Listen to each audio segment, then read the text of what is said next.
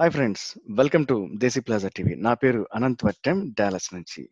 ఇవాళ నా షోలో మీ ముందుకి ఒక గెస్ట్ని తీసుకొచ్చాను. ఆయన ఎవరంటే తెలుగు ఫిలిం ఇండస్ట్రీలో మొదటి సినిమాతోనే ఎవరెస్ట్ రేంజ్ సక్సెస్ని అందుకున్న అతి కొద్ది దర్శకులలో ఒకరు.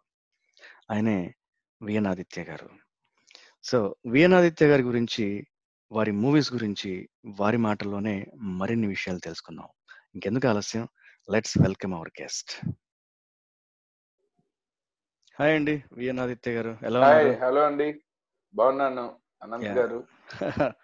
యా చాలా థ్యాంక్స్ అండి. థ్యాంక్స్ ఫర్ టైం ఇచ్చినందుకు. మనం అయ్యో భలేవరే ఇప్పుడు టైం లేదు అనడానికి లేదు కదా. యా అందరూ ఈ సిచ్యువేషన్లో కరెక్ట్ అందరూ చాలా కొంచెం రిలాక్స్డ్గా అయితే కొంచెం ఎక్స్క్యూజ్ తీసుకున్నా నమ్మేవాళ్ళు. ఇప్పుడు అవునవును ఏడ్సాలే అంటారు. Yeah yeah. యా సో మనం మీ గురించి చాలా ఇంటర్వ్యూస్లో మామూలుగా మీ బేసిక్గా ఇంట్రెస్ట్ ఎలా కలిగింది ఇవన్నీ చాలా ఉన్నాయి కాబట్టి మనం అవన్నీ కన్సిడర్ చేసుకుని అక్కడ నుంచి. ముందుకు వెళదాం. సో నేను అడగాల్సింది అడగాలనుకున్న క్వశ్చన్ ఏంటంటే బేసిక్గా మీరు ఒక director well already prove director కాబట్టి నా క్వశ్చన్ ఏంటంటే దీనికి డైరెక్షన్ సంబంధించి ఈ డైరెక్షన్ డిపార్ట్మెంట్లో రకరకాల డిజిగ్నేషన్స్ ఫస్ట్ అసిస్టెంట్ అని అసోసియేట్ అని కో డైరెక్టర్ అని. డైరెక్టర్ సో ఈ ఇండస్ట్రీ ఇప్పుడు ఒక మూవీకి assistant associate co director director వీళ్ళ రెస్పాన్సిబిలిటీస్ ఎలా ఉంటాయి? అంటే వాళ్ళు చేసే పనులు ఏంటి అవి వాళ్ళు డైరెక్టర్గా ఎదగడానికి ఎలా ఉపయోగపడతాయి? దీని గురించి కొంచెం క్లుప్తంగా మాట్లాడుకుందామా? యా షూర్గా చెప్తాను. స్టార్ట్ చేయనా? Yeah let start. బేసిక్గా ఫస్ట్ సినిమాకి మనకి అసలు ఆ కైండ్ ఆఫ్ జాబ్ దాని వర్క్ లోడ్ ఏమీ తెలియదు కాబట్టి అబ్జర్వ్ చేయమంటారు. సో అబ్జర్వేషన్ పీరియడ్ని అప్రెంటిస్ అంటారు. ఓకే. సో అప్రెంటిస్షిప్లో కొంతమంది డైరెక్టర్లు వాళ్ళు స్టైఫండ్ లాగా ఇప్పుడు చార్టర్డ్ అకౌంటెంట్ దగ్గర స్టైఫండ్ ఎట్లాగా అట్లా ఇస్తూ ఇచ్చే వాళ్ళు కొంతమంది ఉన్నారు. కొంతమంది కొన్ని ప్రొడక్షన్ హౌసెస్ అప్రెంటిస్లకు కూడా మనం డబ్బులు ఇచ్చి నేర్పించడం ఏంటి అని మీ మీ మీ మీ కష్ట సుఖాలు మీరు చూసుకోవాలి. మేము మీకు ఓన్లీ ఆపర్చునిటీ ఇస్తాము. సెట్లోకి వచ్చి అబ్జర్వ్ చేసి వెళ్ళొచ్చు అని. సో నన్ను బృందావనం సినిమాకి అట్లా అప్రెంటిస్గా పెట్టారు రావుకొండలరావు గారు. ఓకే అప్రెంటిస్ వాళ్ళు ఎక్కడ షూటింగ్ చేసినా షూటింగ్ స్పాట్కి వెళ్ళటం నా బాధ్యత. ఓకే. షూటింగ్ ప్యాకప్ అయిపోయాక మళ్ళీ వాళ్ళకి సంబంధం లేదు. ఇంటికి జాగ్రత్తగా వెళ్ళటం నా బాధ్యత. నా భోజనం నా టిఫిన్లు ఏవి యూనిట్లో కౌంట్లో రాకుండా నాకు పేరు ఉండదు కాబట్టి. సో నా నా ఓన్గా నన్ను అబ్జర్వ్ చేసుకోమన్నారు. ఆ- ఆ అబ్జర్వ్ చేసే అవకాశం ఇచ్చినందుకే అసలు అదే చాలా గొప్ప విషయం. అలా రాజేంద్ర ప్రసాద్ రమ్యకృష్ణ సంగీతం శ్రీనివాసరావు గారి డైరెక్షన్ చందమామ విజయ కంపెనీస్ నేను ఆ, తిరుపతిలో జరిగిన షెడ్యూల్ దాని కాను తర్వాత మెడ్రాస్లో జరిగిన ఒక చిన్న సాంగ్ షెడ్యూల్ నేను అప్రెంటిస్గా పనిచేశాను. కానీ ఆ- తర్వాత మళ్ళీ నాకు ఇంకా పర్మనెంట్గా మూవ్ అవ్వటానికి రూమ్ అన్ని ఏర్పాట్లు చేసుకొని భైరవ దీపం స్టార్టింగ్ కల్లా నేను ఫుల్గా తయారయ్యాను. సో ఫస్ట్ సినిమాకి ఏమంటారంటే అసిస్టెంట్ డైరెక్టర్ అంటారు. పోస్ట్. వన్ అసిస్టెంట్ డైరెక్టర్ అంటే జనరల్గా క్లాప్ కొట్టడం సో సినిమాలో టైటిల్ ఉంటుంది కానీ ఆఖరి టైటిల్ ఉంటుంది. డైరెక్షన్. డిపార్ట్మెంట్లో లాస్ట్ టైటిల్ ఇది. ఓకే. అప్రెంటిస్కి చాలా మంది టైటిల్ కూడా ఇవ్వరు. కొంతమంది ఈ మధ్య వదిలి పోనీలే అని ఇచ్చేస్తున్నారు. చెప్పుకుంటారు కదా పలానా సినిమాకి చేశానని అని. ఇప్పుడు కొంచెం లిబరల్గా ఉంది. ఇది మేము ఎంటర్ అయినప్పుడు చాలా స్ట్రిక్ట్గా ఉండేది. అందుకని మా ట్రైనింగ్ బాగుంటుంది. సో అసిస్టెంట్ డైరెక్టర్ క్లాప్ కొట్టాలండి. క్లాప్ నేర్పిస్తారు. సో క్లాప్ కొట్టడం చాలా కష్టమైన సైన్స్ అది. ఎందుకంటే ఇప్పుడు డిజిటల్లో క్లాప్ తోటి పెద్ద పని లేదు. క్లిప్ నెంబర్లు రాసుకుంటే సరిపోతుంది.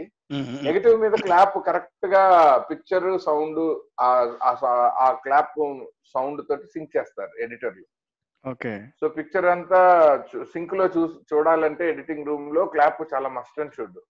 So especially dialogue పార్ట్కి అండ్ సాంగ్స్లో నెంబర్ ఆఫ్ షార్ట్స్ కచ్చాముచ్చాగా తీస్తారు కదా. సో ప్రాపర్ క్లాప్ నెంబర్ లేకపోతే సాంగ్ని ఆర్డర్లో పెట్టడం ఎడిటర్కి చాలా కష్టం అవుతుంది సో దానికోసం సాంగ్కి పంచ్ మార్క్ అని అది రాయిస్తారు. So assistant. డైరెక్టర్గా ఆర్టిస్టులను పిలవటం షార్ట్ రెడీ అయితే బ్యాక్గ్రౌండ్లో జూనియర్స్ కెమెరా కేసు చూడకుండాను లేకపోతే డైరెక్టర్ అనుకున్నట్టు వాళ్ళని అటు ఇటు మూవ్ చేయటం. ఇలాంటి బాధ్యతలన్నీ అసిస్టెంట్ డైరెక్టర్ బేసిక్గా చురుగ్గాను హుషారుగా ఉండేవాళ్ళు మంచి అసిస్టెంట్ డైరెక్టర్ ఓకే కొంచెం లెథర్జిక్గా ఉండే వాళ్ళని నెక్స్ట్ సినిమాకో మధ్యలోనో తీసేస్తారు అండ్ నోటి నోటి దురుసుంటే అసలు అసిస్టెంట్ డైరెక్టర్లకు నోటి దురుసుంటే స్పేర్ చేయరు. ఎందుకంటే డైరెక్షన్ డిపార్ట్మెంట్లోనే లీస్ట్ వాళ్ళ ఇండస్ట్రీలో నాలుగు కాలాలు ఉండటానికి వచ్చారని ఇండస్ట్రీ అంతా అనుకుంటూ ఉంటారు. ముందరే యాటిట్యూడ్ చూపిస్తే నేను పలానా డైరెక్టర్ దగ్గర ఉన్నాను కదా అని ఆ డైరెక్టర్ యాటిట్యూడ్ అంతా మనం చూపిస్తే వెళ్ళమంటారు ఇంటికి. కట్ చేస్తారు ముందుగానే. ఆ పలానా డైరెక్టర్కు ఉండొచ్చు యాటిట్యూడ్. అతన్ని భరిస్తారు ఎందుకంటే అక్కడ నేమ్ సెల్స్. ఇక్కడ ఉండకూడదు.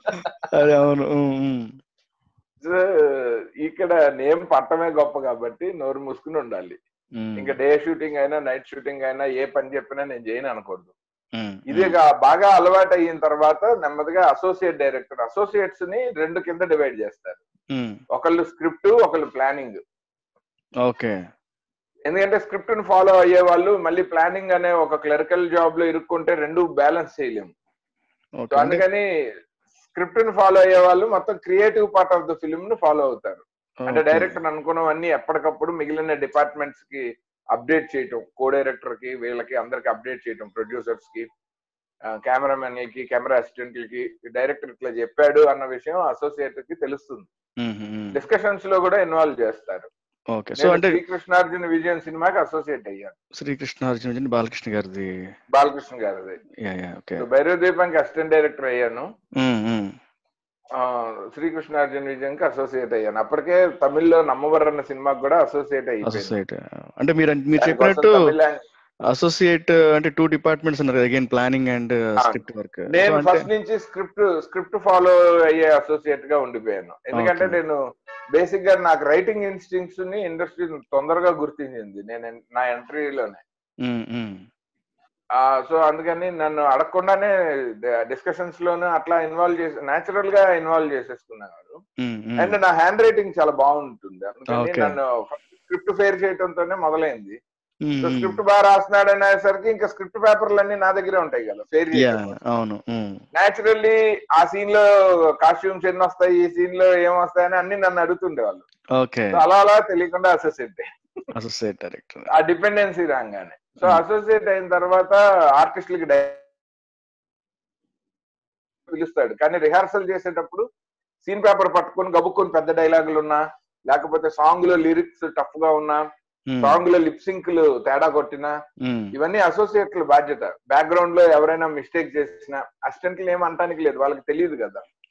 అసిస్టెంట్లు చేసిన తప్పులు కూడా అసోసియేట్స్ చెక్ చేసుకోవాలి అండ్. రైటర్స్ సమ్ టైమ్స్ మన డైరెక్టర్ ఆప్షన్స్ లోనో ప్రొడ్యూసర్ ఆప్షన్స్ లోనో ఏదో ఒక డిస్కషన్లో వాళ్ళు సినిమాకి సంబంధించి ఏదో ఒక పాయింట్ చెప్తారు.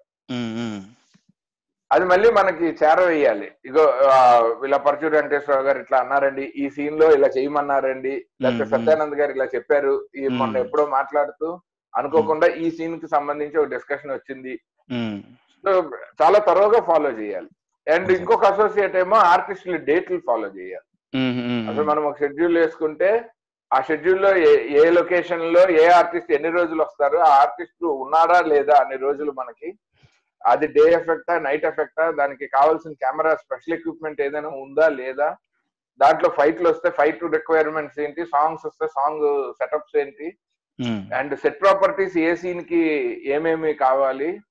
ఇవన్నీ ఇంకొక అదర్ దాన్ స్క్రిప్ట్ ఫాలో అయ్యే associate follow planning planning stuff అదంతా. ఉమ్. అతను కో డైరెక్టర్కి మోర్ అసిస్టెంట్ లా ఉంటాడు. ఈ స్క్రిప్ట్ ఫాలో అయ్యే అతను డైరెక్ట్గా డైరెక్టర్కి అటాచ్డ్గా ఉంటాడు. ఎందుకంటే. స్క్రిప్ట్ సంబంధించింది. ఆ అసోసియేట్ కో డైరెక్టర్కి రైట్ హ్యాండ్ లాగా ఉండాలి. ఎందుకంటే కో డైరెక్టర్ వీళ్ళిద్దరిని సూపర్వైజ్ చేసేది. ఇటు స్క్రిప్ట్ని అటు ప్లానింగ్ని.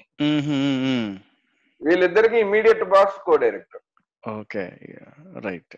ఆ కో డైరెక్టర్ ప్రొడ్యూసర్కి డైరెక్టర్కి మధ్యన లైజాన్ ఆఫీసర్ అన్నమాట. వాళ్ళిద్దరిని ఇటు ప్రొడక్షన్ ప్లానింగ్ ఎందుకంటే ప్రొడక్షన్ కోసం కొన్ని కొన్ని సార్లు ప్లాన్ మార్చాల్సి వస్తుంది. ఇప్పుడు డైరెక్టర్ నాకు ఇవాళ బేగంపేట ఎయిర్పోర్ట్ కావాలంటాడు ఆ రోజు ఆ పర్మిషన్ ప్రొడక్షన్లో దొరకదు. అది కో డైరెక్టర్కి తెలిసి ఉంటుంది సో ఆ రోజు వర్క్ పోకుండా ఆర్టిస్టుల డేట్లు పోకుండా సపోజ్ ఇంకొక ఇంకొక ఆల్టర్నేట్ వర్క్ ప్లాన్ చేసి మళ్ళీ ఈ డేట్కి మిగిలిన వాళ్ళ డేట్లు అన్ని తీసుకోవటం. డైరెక్టర్ అనుకున్న సీన్ని ఇంకొక రోజు కన్నా మార్చడం ఇట్లా షెడ్యూల్ని మొత్తం మీద అప్సెట్ కాకుండా అనుకున్న పద్ధతిలో చేయటం co director co director responsibility yeah so ఈ వీళ్ళలో ఎవరు తప్పు చేసినా లేదా ఎవరు సినిమాకి మంచి కంట్రిబ్యూట్ చేసినా ఆ పేరు డైరెక్టర్ కోసం క్రెడిట్ అది ఓకే ఎందుకంటే ఇది అండ్ వీళ్ళల్లో కొన్నిసార్లు ప్రొడ్యూసర్లు తిడుతూ ఉంటారు వీళ్ళని. ఎందుకంటే డైరెక్టర్ ఇచ్చే ఇన్స్ట్రక్షన్స్ వల్ల. అలాంటప్పుడు వీళ్ళు పర్సనల్గా తీసుకోకూడదు. నేను నా దగ్గర పనిచేసే వాళ్ళందరికీ చెప్తాను. ఒక ఆర్టిస్ట్ సమ్ టైమ్స్ ఏదో ఇరిటేట్ అయ్యి ఎట్లా తిడతాడు. ఏంటయ్యా నన్ను పిలిచారు షార్ట్కి ఎంతకీ తీయట్లేదు అంటాడు. అప్పటికి మనకి ఏదో ప్రాబ్లం ఉంటుంది. అది వాళ్ళకి అర్థం అవ్వదు. సో నేను మా టీం అందరికీ చెప్తాను. ఎవడైనా మిమ్మల్ని ఏమన్నా అంటే అది నన్నే. మీరు హాయిగా నవ్వుతూ వెళ్ళిపోండి. సో మీరు కో డైరెక్టర్గా చేశారండి ఏ మూవీకైనా? నేను అసలు కో డైరెక్టర్ అవ్వకుండా డైరెక్టర్ అవ్వాలన్న కంకణం కట్టుకున్నా ఇండస్ట్రీకి వచ్చిన దగ్గర నుంచి. ఎందుకంటే నా- నేను బిగినింగ్లో పనిచేసిన కో డైరెక్టర్లు అందరూ చాలా సీనియర్లు వాళ్ళని చూసి నాకు భయం వేసేది. ఇంకా నేను ఎప్పటికీ డైరెక్టర్ అవ్వలేనా? ఆర్డర్లో వెళ్తే మనం ఎప్పటికి అవుతాం అన్నట్టు ఉండేది. తర్వాత నాకు అర్థమైంది. ఆ నాట్ నెసెసరీ కొంతమంది ఆఫర్స్ వచ్చినా కూడా ఫ్యామ్ వన్స్ డైరెక్టర్ అయ్యాక మళ్ళీ కో డైరెక్టర్గా చేయలేమని ఇండస్ట్రీ దూరం పెడుతుందని ఫ్యామిలీ రెస్పాన్సిబిలిటీస్ అని ఒక కంటిన్యూటీ వర్క్ ఉండటం కోసం లైవ్లీహుడ్ కోసం డైరెక్షన్ ఆఫర్ వదులుకొని కో డైరెక్టర్గా బాగా ఫేమస్ అయిపోయిన వాళ్ళు కూడా ఉన్నారు. సో అందుకని మాకేంటంటే మా జనరేషన్లో మా మీద అంత రామ్ గోపాల్ వర్మ ఇన్ఫ్లుయెన్స్ తోటి వచ్చిన జనరేషన్ ఎక్కువ మాది. మేము ఇండస్ట్రీకి వచ్చిన టైంలో అప్పటికి ఆర్జీబీ బ్రెయిన్ స్టామ్ ఎక్కువ ఉండింది. పిక్చర్ల మీద. ఆయన డైరెక్ట్గా ఒక సినిమా కూడా చేయలేదని ఆయన ప్రచారం చేసి ఆ- అవసరం లేదు సినిమాలు చూడటం వస్తే చాలు తీయటం అదే వచ్చేసినట్టు అని అనుకున్నా నేను ఎక్కువ దాన్ని బిలీవ్ చేయలేదు. ప్రాపర్. ట్రైనింగ్ ఉంటే ఎక్కువ రోజులు ఉంటాము. లేకపోతే ఓన్లీ సక్సెస్ ఉన్నంత వరకే ఉంటాము అని చెప్పి నేను మొదటి నుంచి కొన్ని సినిమాలకి ఖచ్చితంగా డైరెక్షన్ డిపార్ట్మెంట్లో పనిచేసే రావాలనుకున్నా. ఉమ్. ఆయన ఆర్జీవి గారు ఒక రెండు ఒక టూ మూవీస్కి చేసినట్టున్నారండి. అంటే అంత అన్రికగ్నైజ్డ్ బట్ అప్పట్లో అది చెప్పేవాళ్ళు కాదు. మా తర్వాత మేము ఇండస్ట్రీకి వచ్చాక అర్థమైంది. ఆయన చేశారు రెండు సినిమాలు. అవును. రావు గారి ఇల్లును కలెక్టర్ గారు అబ్బాయి ఇల్లు. కలెక్టర్ గారు అబ్బాయి రావు గారు ఇల్లు. బి గోపాల్ గారు కను విన్నాను. యా సో అవి మన డైరెక్షన్ డిపార్ట్మెంట్లో డెసిగ్నేషన్స్ వాళ్ళు చేసే రెస్పాన్సిబిలిటీస్. చాలా బాగా డీటెయిల్ చెప్పారండి. అంటే. బయట తెలిసినా కానీ ఇంత డీటెయిల్డ్గా తెలియదు ఆ తెలుసుకునే ఉద్దేశం కోసం. అడిగాను. దానికి మీకు చాలా. ఎక్స్ప్లెనేషన్ కూడా బాగుంది. గుడ్ యూ యా తర్వాత అండి ఇప్పుడు మీరు సంగీతం శ్రీనివాస్ గారి దగ్గర ఫస్ట్ చేశారు కదా భైరవ దీపంతో అవును ఆ మూవీలో మీ స్పెషల్గా మీరు ఏమైనా కంట్రిబ్యూట్ చేశారా? Just only observation నేర్చుకున్నారంతా?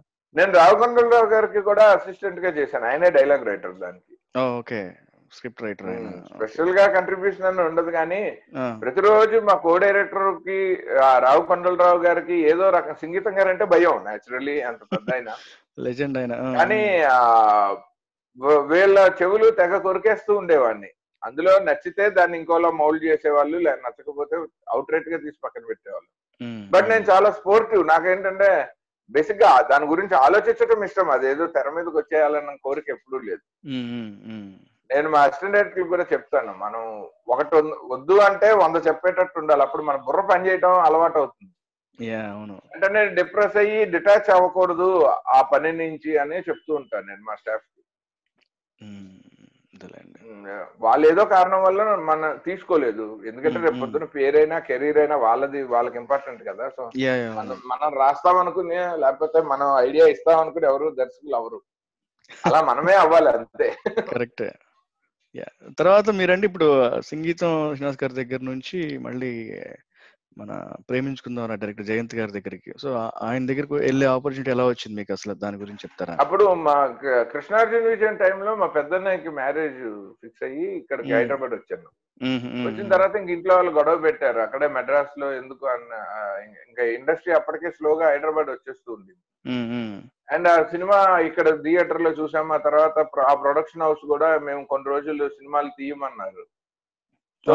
వాళ్ళు కాకపోతే ఎవరో ఒకళ్ళ దగ్గర పనిచేసేటట్టు అయితే రామానాయుడు గారి దగ్గర చేయటం బెటర్ అని చెప్పి అక్కడికి వెళ్తే మాధవపతి సురేష్ గారు ఆ బ్యానర్లో ఒక సినిమా తాత మనోడు అనే సినిమాకి మ్యూజిక్ చేస్తున్నారు. సో ఆయన మాకు మెడ్రాస్లో భైరవ దీపం బృందావనం శ్రీకృష్ణార్జున నిజం మూడు సినిమాలకి ఆయనే మ్యూజిక్ డైరెక్టర్ మా. కాంపౌండ్కి.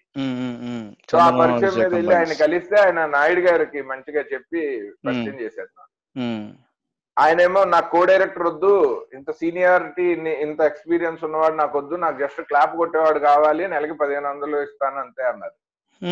సో ఒక సెకండ్ ఆలోచించాను అంతే. సురేష్ ప్రొడక్షన్స్లో చేయటం వల్ల వచ్చే రెస్పెక్ట్ ఎలాగో నాకు అప్పట్లో ఒక పెర్సెప్షన్ ఉంది. అసిస్టెంట్ డైరెక్టర్గా మనం డబ్బులు సంపాదించకూడదు ఎక్స్పీరియన్స్ తప్ప కాంటాక్ట్స్ తప్ప. డైరెక్టర్ అయ్యాక వచ్చే డబ్బులే మన డబ్బులు అని నేను ఇండస్ట్రీకి వచ్చినప్పటి నుంచి అనుకునేవాడిని. సో అందుకని ఏ పని చెప్పినా చేసేసేవాడిని. ఇది ఎంత ఇస్తారు ఇది దీనికి ఎంత వస్తుంది ఈ టైంలో నా సొంత స్క్రిప్ట్ రాసుకోవచ్చు కదా అట్లాంటిది ఎప్పుడూ లేదు. సో అలాగే నేను టీవీ సీరియల్స్ చేసేసాను సినిమాలు చేసేసాను సినిమాలకి డబ్బింగ్లకి ఇన్ఛార్జ్ కింద ఉన్నాను. క్రియేటివ్గా నా నా నేను చేయగలిగిన ఏ పనికన్నా భైరవదీప్ ఆల్ లాంగ్వేజెస్ డబ్బింగ్ నేను ఇన్ఛార్జ్ ఉన్నాను.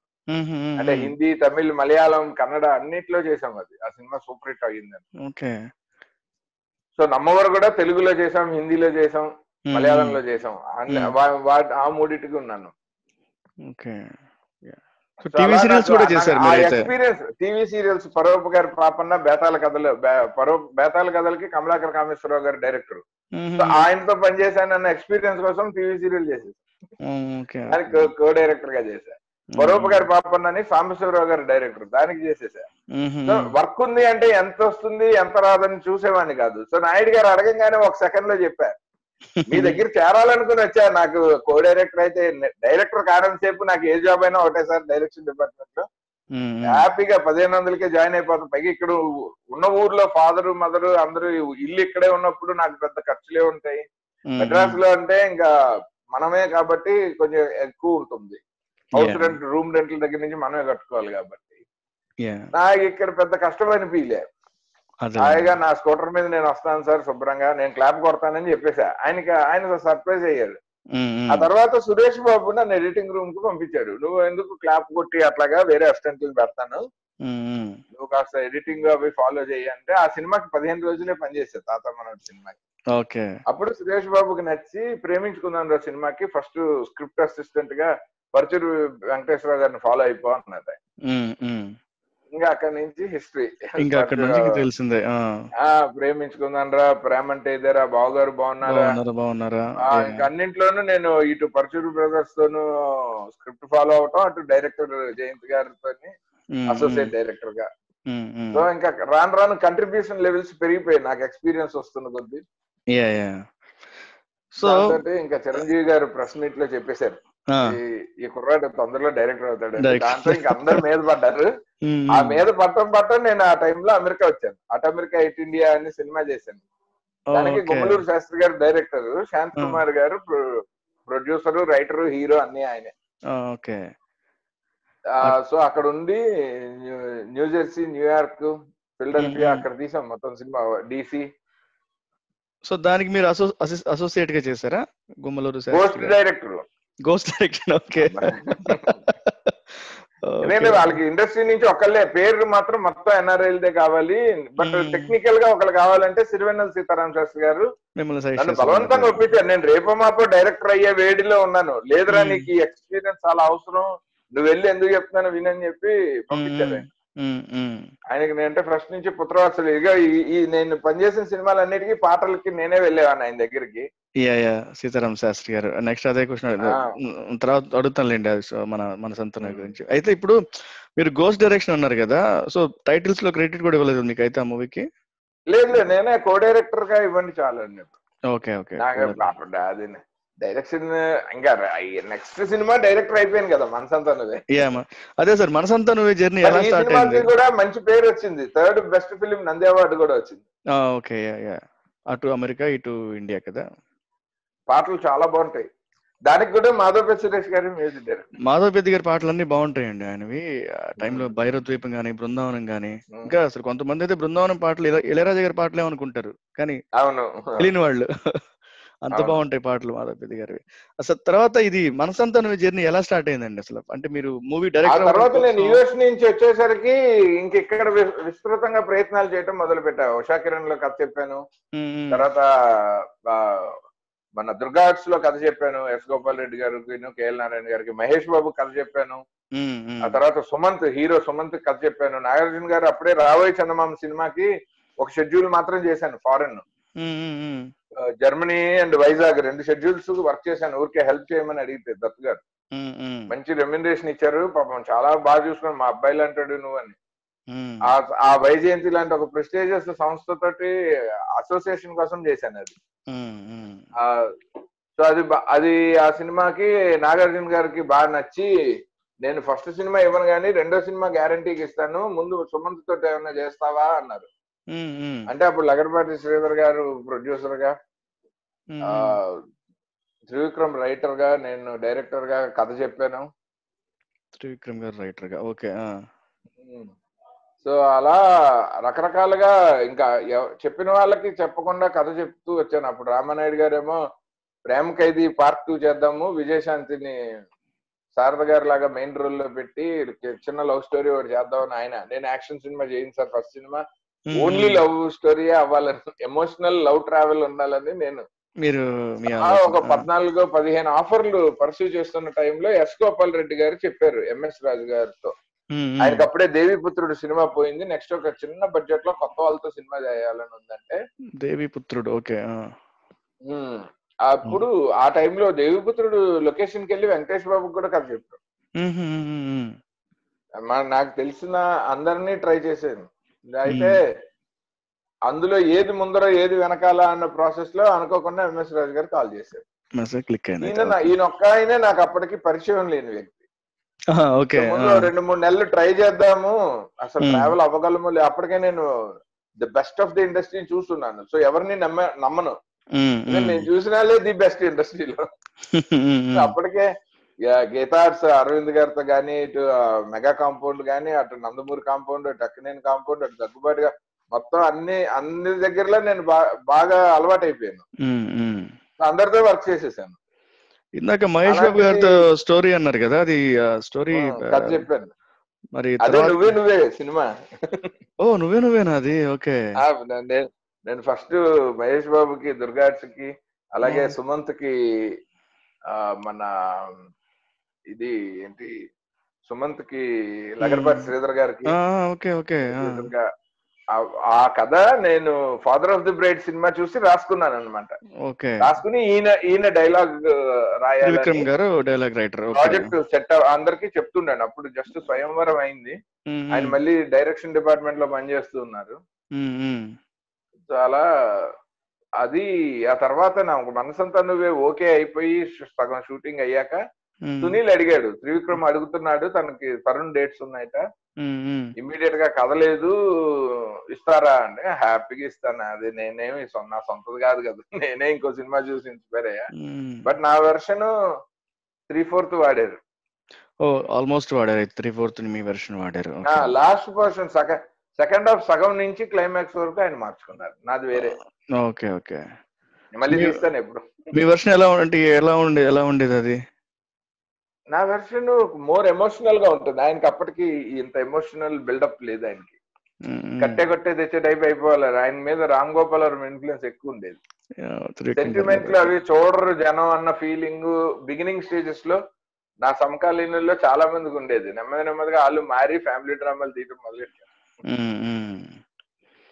సో మీ వెర్షన్ ఫ్యూచర్లో తీస్తారు అయితే ఖచ్చితంగా. అది ఎప్పటికైనా మంచి పాయింట్ అది. నేను అనుకున్న క్లైమాక్స్ చాలా మంచి point. Okay. That itself is film story so నువ్వే నువ్వే మీకు ఎక్కడ టైటిల్ క్రెడిట్ లేదు కదా సహకారం అసలు అవన్నీ ఆలోచించి ఇచ్చింది కదా ఆఫ్ ఫ్రెండ్షిప్ చేసింది. యా ఓకే ఎందుకంటే ఇద్దరం కూర్చునే డిస్కస్ చేసాము నా ఆలోచనలన్నీ ఆయనకి చెప్తుండేవాడిని. ఆయనే రైటర్ అనుకున్నాను కదా. మీరు మనసంతా నువ్వేకి ఉదయ్ కిరణ్ గారిని ఎందుకు అనుకున్నారండి? దానికి ఏదైనా స్పెషల్ రీజన్ ఏమైనా ఉందా? అప్పటికే ఏవిఎస్ గారు ప్రొడ్యూసర్గా ఉదయ్ కిరణ్ హీరోగా నా డైరెక్షన్లో సినిమా జరగాలి. అప్పటికే. డిస్కషన్ జరుగుతూ ఉండేవి. కాకపోతే కథ ఏవిఎస్ గారు చెప్తా అన్న దగ్గర ఇద్దరికి చిన్న ఇది వచ్చింది. నేను అప్పుడు నేనేమో కథలు చాలా స్ట్రాంగ్ పరచూర్ బ్రదర్స్ సత్యానంద్ గారు వీళ్ళందరితో రావు కొండలరావు గారు డివి నరసరాజు గారు ఇంతమంది తోని బాగా క్లోజ్ అసోసియేషన్ ఉండి సంగీతం గారు హిమ్సెల్ఫ్ ఇస్ రైటర్ సో అలాంటి టైంలో అలాంటి బ్యాక్గ్రౌండ్ నుంచి వచ్చి నేను. ఏవిఎస్ గారికి ఏంటంటే ఆయన క్యారెక్టర్ చుట్టూనే కథ ఉండాలి మిగిలిన స్టోరీ అట్టపోయినా పర్లేదు అన్నట్టు ఉండేది ఆ అంకుల్ సినిమా. అదే అంకుల్ సినిమా కూడా ఆయన అది చూసి. భయం. వేసింది అప్పుడు మెయిన్ కథ మారిపోకూడదు కదా అని నేను నెమ్మదిగా ఆ ప్రాజెక్ట్ చాలా రోజులు అప్పటికి ఒక ఆరు నెలలు ఏవిఎస్ గారి ఇంట్లో రోజు సిట్టింగ్స్కి వెళ్ళేవాడిని ఆయనకి కొంచెం ఫైనాన్షియల్గా ట్రబుల్స్ వచ్చాయి అంకుల్ పోవటం తోటి. ఆయన అనుకున్నట్టు ఫైనాన్స్ ఆయనేమో హ్యాపీగా మళ్ళీ కంబ్యాక్ కోసం ఆయన వేషాలు వేసేస్తూ ఉండేవాళ్ళు. సో నాకు అవైలబుల్గా ఉండేవాళ్ళు కాదు. నాకేమో డౌట్ అసలు ప్రాజెక్ట్ ఉందా లేదా ఏం తెలియదని ఆ. కన్ఫ్యూజన్లో ఉదయ్ కిరణ్ ఎక్కువ హోల్డ్ చేయలేము కదా. సో ఎంఎస్ రాజు గారు ఎలాగో చిన్న వాళ్ళతో లవ్ స్టోరీ అనగానే అప్పటికే నువ్వు నేను షూటింగ్ జరుగుతుంది ఉదయది. ఆ, ఉదయ్ కిరణ్ గారు ఆ, ఎడిటింగ్ రూమ్లో చూపించాను ఎంఎస్ రాజు గారికి. తేజ గారు చూపించారు. చూపిస్తే ఆయనకి నచ్చాడు. వెంటనే ఆఫీసుకి పిలిపించి ఇమ్మీడియట్ ఎంఎస్ రాజు గారి పుట్టినరోజు నాటికి ముహూర్తం చేస్తాం. సో అలాగా ఫైనల్. చేస్తారు ఇందాక మీరు అది ఏవిఎస్ గారితో మూవీ అన్నారు. అది తర్వాత మళ్ళీ టూ థౌజండ్ ఫైవ్ సిక్స్ ఆ టైంలో రూమ్మేట్స్ అని సినిమా ఆ- అదే స్క్రిప్ట్ అది సంబంధించి కాదు అది కాదు. ముద్దొస్తున్నావు గోపాలం అని ఆయన ఆయన తర్వాత తీశారు అది. ఓకే. తర్వాత తీసారా ఓకే. ఓకే. దాని పేరు ఏదో కొంచెం మార్చినట్టున్నారు. బంగారం ఏదో వస్తుంది. అది. తీశారు ఓకే. తర్వాత మనసంతా నువ్వే మ్యూజిక్ గురించి మాట్లాడు మ్యూజిక్ గురించి కాసేపు కొంచెం మాట్లాడుకుందాం. ఆర్పి పట్నాయక్ గారి మ్యూజిక్ కదా అందులో. అందులో సాంగ్స్ అన్ని చాలా బాగుంటాయండి. మనసంతా సాంగ్స్ అన్ని చాలా బాగుంటాయి. లిరిక్స్ కూడా సీతారాం శాస్త్రి గారు రాసినవి. అద్భుతమైన లిరిక్స్. అయితే అందులో కొన్ని పాటలు. తునిగా తునిగా సెన్సేషన్ సాంగ్.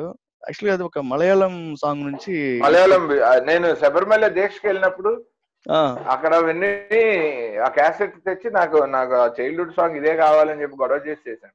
ఓకే. సో ఇలాగా ఒక సాంగ్ని అట్లా రిఫరెన్స్ తీసుకొని చేసినప్పుడు ఆ పర్టికులర్ మ్యూజిక్ డైరెక్టర్కి ఇన్ఫర్మేషన్ ఇస్తారా? లేకపోతే మేము ఇచ్చాము యాక్చువల్లీ. నేను విద్యాసాగర్ గారు సిరివెన్నెల సీతారామ శాస్త్రి గారికి బాగా పరిచయం. ఓకే ఇచ్చారు అయితే మేము ఇచ్చాము. ఇచ్చిన తర్వాత ఆయన అప్పుడు మేము కంపోజ్ చేసే ముందరే అడిగిచ్చాను శాస్త్రి గారితో. ఓకే ఆయన అప్పుడు పెద్ద పట్టించుకోలే దాని ఏముంది అన్నయ్య పర్లేదు అనేసారు అదే అసలు బిగ్గెస్ట్ హిట్ ఆఫ్ ఇండస్ట్రీ అయిపోయిన తర్వాత నాకు కాపీ రైట్ కావాలి అన్నారు. ఆయనకి పే చేసాం పే చేసాం చేశారు.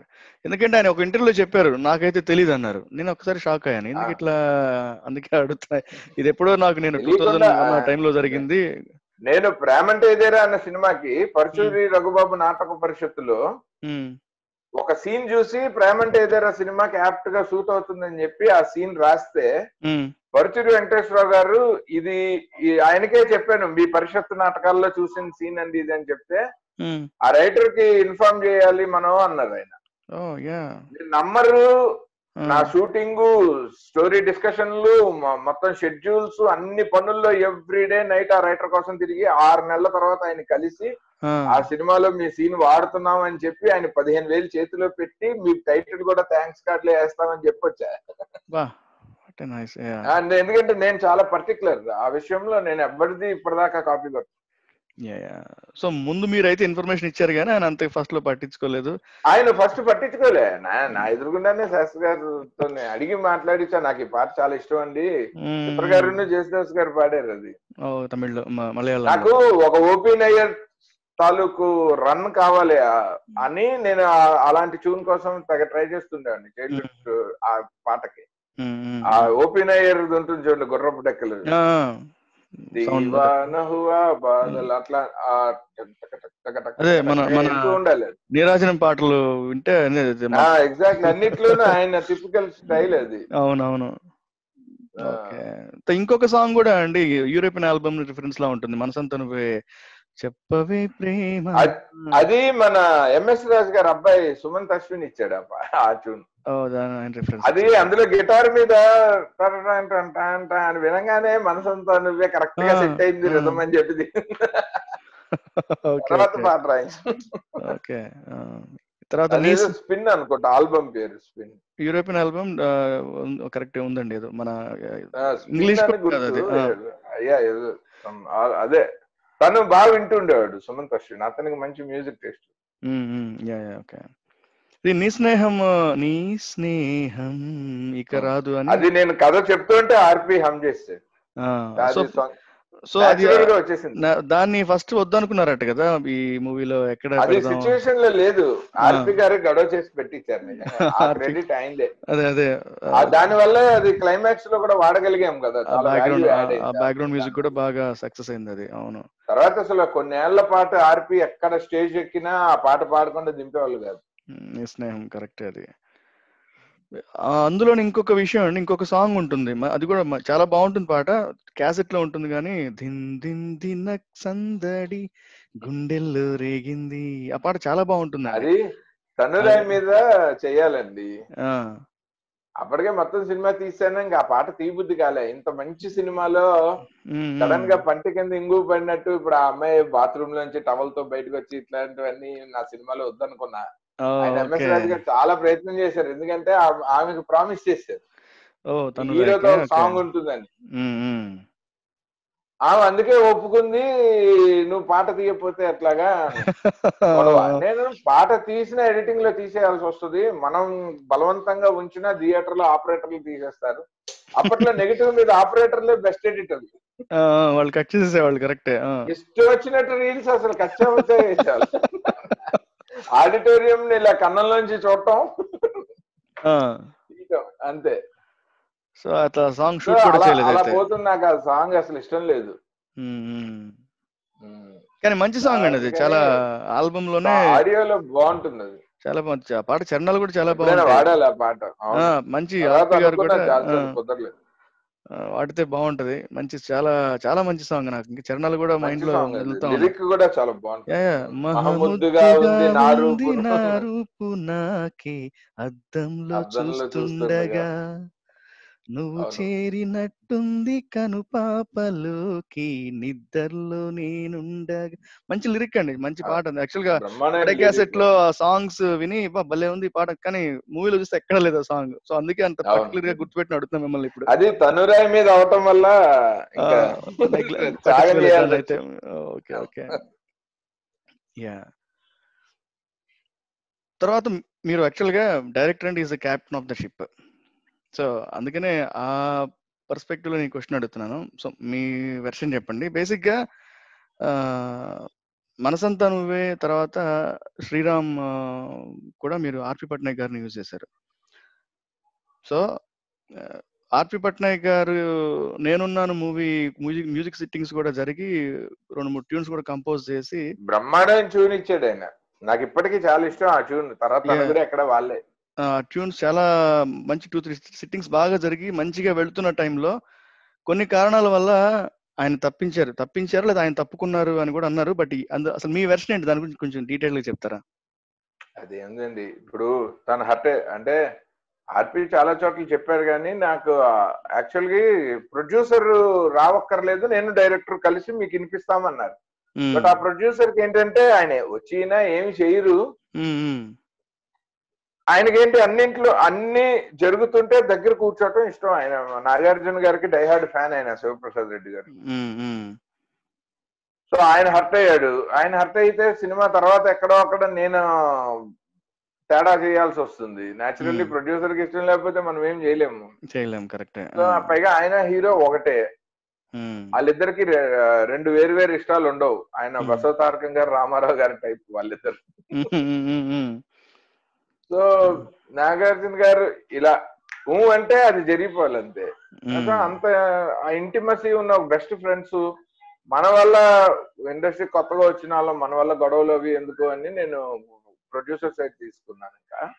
అయితే నాకు తెలియంది ఏంటంటే తర్వాత ఆయన ఆ అబ్బాయి గారని నాగార్జున గారికి పెద్దనాన్న గారు అబ్బాయి అన్నయ్య వరుస అవుతారు. ఆయనే. మాకు ఎగ్జిక్యూటివ్ ప్రొడ్యూసర్ అన్నమాట. సో ఆయన్ని పంపించి ఆర్పిని వద్దు అని చెప్పినప్పుడు ఈయన నాగార్జున గారికి ఒక లవ్ లెటర్ రాశారు. ఎవరు మన ఆర్పి గారా?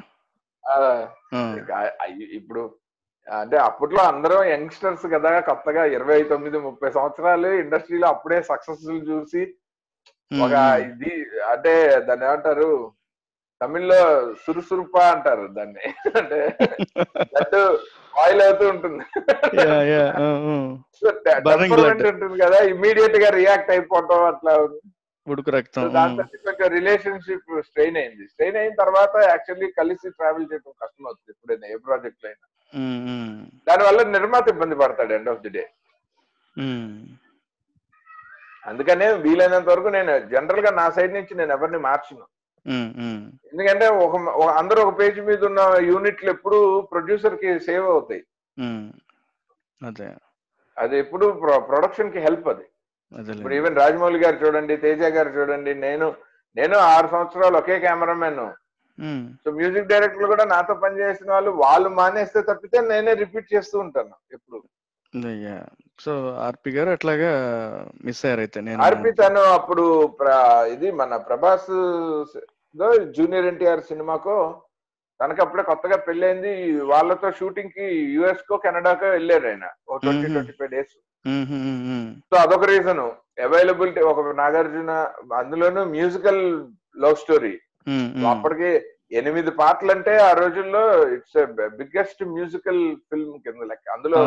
హీరో ఒక. సూపర్ స్టార్ తోటి అవును సో దానికి ఫుల్ టైం కేటాయించకపోతే కష్టము అని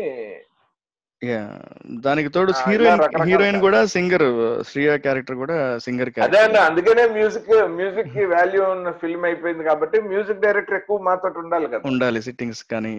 సో ఒక ట్వంటీ ట్వంటీ ఫైవ్ డేస్ అంటే ఆర్టిస్ట్ లాగా షెడ్యూల్ డేట్స్ అట్లా అనేసరికి వాళ్ళకి ఇలా it doesn't work this way అని చెప్పి యా సో అది యా అది మీ వెర్షన్ అయితే. ఉమ్, అంటే నాకు తెలిసినది అయితే ఇదే యా సర్లేండి అయితే పర్లేదండి తర్వాత ఇంకొకటి అండి ఉదయ్ కిరణ్ ఆ, గారికి ఉన్న ఇమేజ్ వచ్చేసి లవర్ బాయ్ ఇమేజ్ శ్రీరామ్ మూవీకి ఆయన యాప్ట్ అని మీరు అనుకున్నారా? మీరు కన్విన్స్ అయ్యారా ఆయన యాప్ట్ అని అసలు ఆ మూవీకి శ్రీరామ్కి? నేను శ్రీరామ్ యాక్చువల్లీ బూరుపల్లి శ్రీరామకృష్ణ గారి కాంపౌండ్లో నేను ప్రేమంటే ఎదురగా అసోసియేట్ డైరెక్టర్గా చేశాను. వెంకటేష్ బాబు హీరో. అవును సో అప్పటి నుంచే బాగా తెలుసు నాకు. ఆ టీం అందరూ ఆయన ఆయన కూడా బాగా క్లోజ్ సో మన సొంత నువ్వే అండర్ ప్రొడక్షన్ ఆయన ఉదయ్ కిరణ్కి అడ్వాన్స్ ఇచ్చి దిల్ రీమేక్ కొని డైరెక్టర్ కోసం తిరుగుతున్నారు. ఓకే. ఆ తర్వాత మా ఉదయ్ మనసంతా నువ్వే డబ్బింగ్ జరుగుతున్న టైంలోనే ఉదయ్ సునీల్ ఇద్దరు వచ్చి వాళ్ళకి తమిళ్ రాదు కదా మా ఇంట్లో శ్రీరామ్ క్యాసెట్ పెట్టి డివిడి సిడి పెట్టి మాకు ఎక్స్ప్లెయిన్ చేయమంటే నేను ఇంటర్వల్ దా సెకండ్ హాఫ్ సగం దాకా చేసి ఇక్కడ నుంచి బోర్ కొడుతుంది. మీరు చూడండి ఇంకే. సినిమా అయినా క్లైమాక్స్ కదా ఉండేది ఇక్కడ నుంచి అని చెప్పేసి ఆ బయటకు వెళ్ళిపోయాను. వాళ్ళ వాళ్ళిద్దరిని వదిలేసి. అది నేను చేస్తానని అసలు మైండ్లోనే లేదు నాకు. నేను ఉదయ్తో చేస్తే మళ్ళీ ఒక మంచి లవ్ స్టోరీ నేనే రాసి సెట్ చేద్దాం అనే ప్లాన్లో ఉన్నాను. అండ్ అసలు ఇమీడియట్ సినిమా ఉదయ్తో చేసే ప్లానే లేదు నాకు. అప్పటికే నాకు. చిరంజీవి గారు ఆఫర్ ఉంది నాగార్జున గారు ఆఫర్ ఉంది. అవి అయ్యాక మళ్ళీ చేద్దాం అనుకున్నాడు చిరంజీవి గారు ఆఫర్ ఏ- స్టోరీలు అనేది? విజయబాబు నీడు గారు ప్రొడ్యూసర్గా వాళ్ళు పోసాని కృష్ణమురళి గారు కథ ఒకటి చెప్పారు. నాకు అది నచ్చలేదు. సో మేము ఇంకోటి తయారు చేసాం నేను వీరు పొట్ల వెంకటేశ్వరరావు గారు అందరం కలిసి. అది అది అది డిస్కషన్ నడుస్తూ ఉండేది. నాకు ఒక ఏడాది పాటు అదే నడిచింది. ఓకే. కథ ఇంకా ఉందండి? ఎవరికైనా తీ- తీసేసారా అదేమైనా తీయలేదు ఇప్పుడు అప్పుడే నేను ఫస్ట్ చిరంజీవి గారికి పెట్టిన టైటిలే Pokiri. పోకిరియా okay. Aishwarya Rai heroine Chiranjeevi hero ego clash మీద కథ. Okay.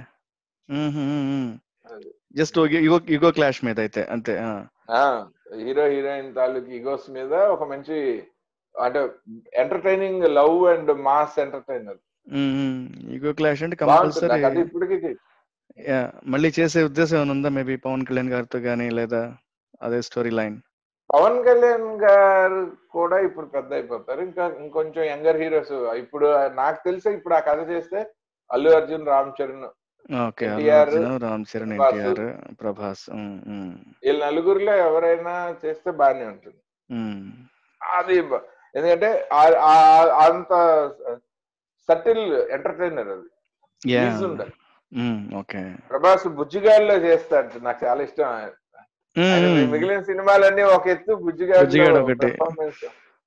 Lively Puri Chandra. Treatment అదంతా. సో అట్లా మీరైతే మీరైతే back to the Sriram question first ఆయన ఆయన శ్రీరామ్కి అతను అనుకోలే. తర్వాత మనసంతా నువ్వే పెద్ద హిట్ అయ్యేసరికి కొంచెం కాంబినేషన్ వాల్యూ వస్తుందని నన్ను బలవంతంగా. కమర్షియల్గా ఓకే నేను కూడా సరే ఇమీడియట్గా పోనీలే అని శ్రీరామ్ సాంగ్స్ వరకు బాగుంటాయండి చాలా. మూవీ కూడా యావరేజ్ మూవీ అతన్ని కూడా డిఫరెంట్గా ప్రొజెక్ట్ చేయడానికి చాలా కష్టపడ్డాం. శ్రీరామ్ ఆ, ఉదయ్ నాయకుల్లో కమలాసన్ లాగా తయారు చేసి ఒక. అంటే సడన్గా ఆడియన్స్ కూడా నమ్మాలి కదా ఇతను కొడితే రక్తం వస్తుందని దెబ్బ. తగులుతుందని నమ్మాలి కదా. కరెక్టే అవును. అతనికి దెబ్బ తగులుతుందని అయ్యయ్యో అనే ఇలాంటి ఇమేజ్ ఉండేది అప్పుడు. అచ్చా నువ్వు నేను అంతే అట్లాంటి ఇమేజ్ అయ్యో అయ్యో పాప అని. అందులో నుంచి అతను కానీ అతను ఎక్కువ కష్టపడ్డాడు మా అందరికంటే. ఎందుకంటే హీ హాస్ దట్ జీల్ అండి. ఆ బాడీ దగ్గర నుంచి ఆ ఎక్స్ప్రెషన్స్ దగ్గర నుంచి ఆ డిగ్నిటీ తెచ్చుకొని ఆ మెచ్యూరిటీ అప్పటికే ఆర్టిస్ట్గా grown up to certain level yeah తర్వాత నీ స్నేహం కూడా బాగుంటుంది. యాక్టింగ్ ఇంప్రూవ్ అయింది. నీ- స్నేహంలో చాలా బాగా యాక్ట్ చేస్తారు. మెచ్యూర్డ్ యాక్టింగ్ ఉంటుంది నీ స్నేహం మూవీలో కూడా. మనసంతా నువ్వే గేమ్ చేంజర్ యా మన సొంతం టర్నింగ్ పాయింట్ యా తర్వాత అండి మీది మనసు మాట వినదని ఒక మూవీ తీశారు కదా. సో ఉదయ్ కిరణ్ గారితో ఇంత ఉండి మనసు మాట విందు మరి ఎందుకు ఉదయ్ కిరణ్ గారిని అనుకోలేదు మీరు బేసిక్గా అప్పుడు ఉదయ్ ఇంకా లవ్ స్టోరీలు వద్దన్నాడు. Okay. So first Uday approach అయితే ఆ విషయంలో? అన్ని కథలు చెప్తుండే అన్ని. ఓకే. అప్పటికి అండ్ అతను ఏం చేశాడంటే మన శ్రీరామ్ అండర్ ప్రొడక్షన్లో దగ్గర దగ్గర ఒక ట్వంటీ సిక్స్ ఫిలిమ్స్ ఒక్కసారి కమిట్ అయిపోయింది కమిట్ అయ్యారు అదేలేండి. అండ్ చాలా అంటే చాలా బిజీగా ఉండేవాడు. సో ఒక పక్క నుంచి సురేష్ ప్రొడక్షన్స్ ఇంకో పక్కన సూపర్ గుడ్ అందరూ ఏఎం రత్నం గారు లింగుస్వామి అటు తమిళ్ ఇటు తెలుగు ఇంకా అతను అందులో అతని డేట్లు మనకు కావాల్సినట్టు పట్టుకోవటం చాలా కష్టమైంది అండ్ ప్యూర్ లవ్ స్టోరీలు వద్దు కొంచెం కొంచెం బిగ్గర్ ఫిలిమ్స్ ఏదైనా చేద్దాం అంటుండేవాడు.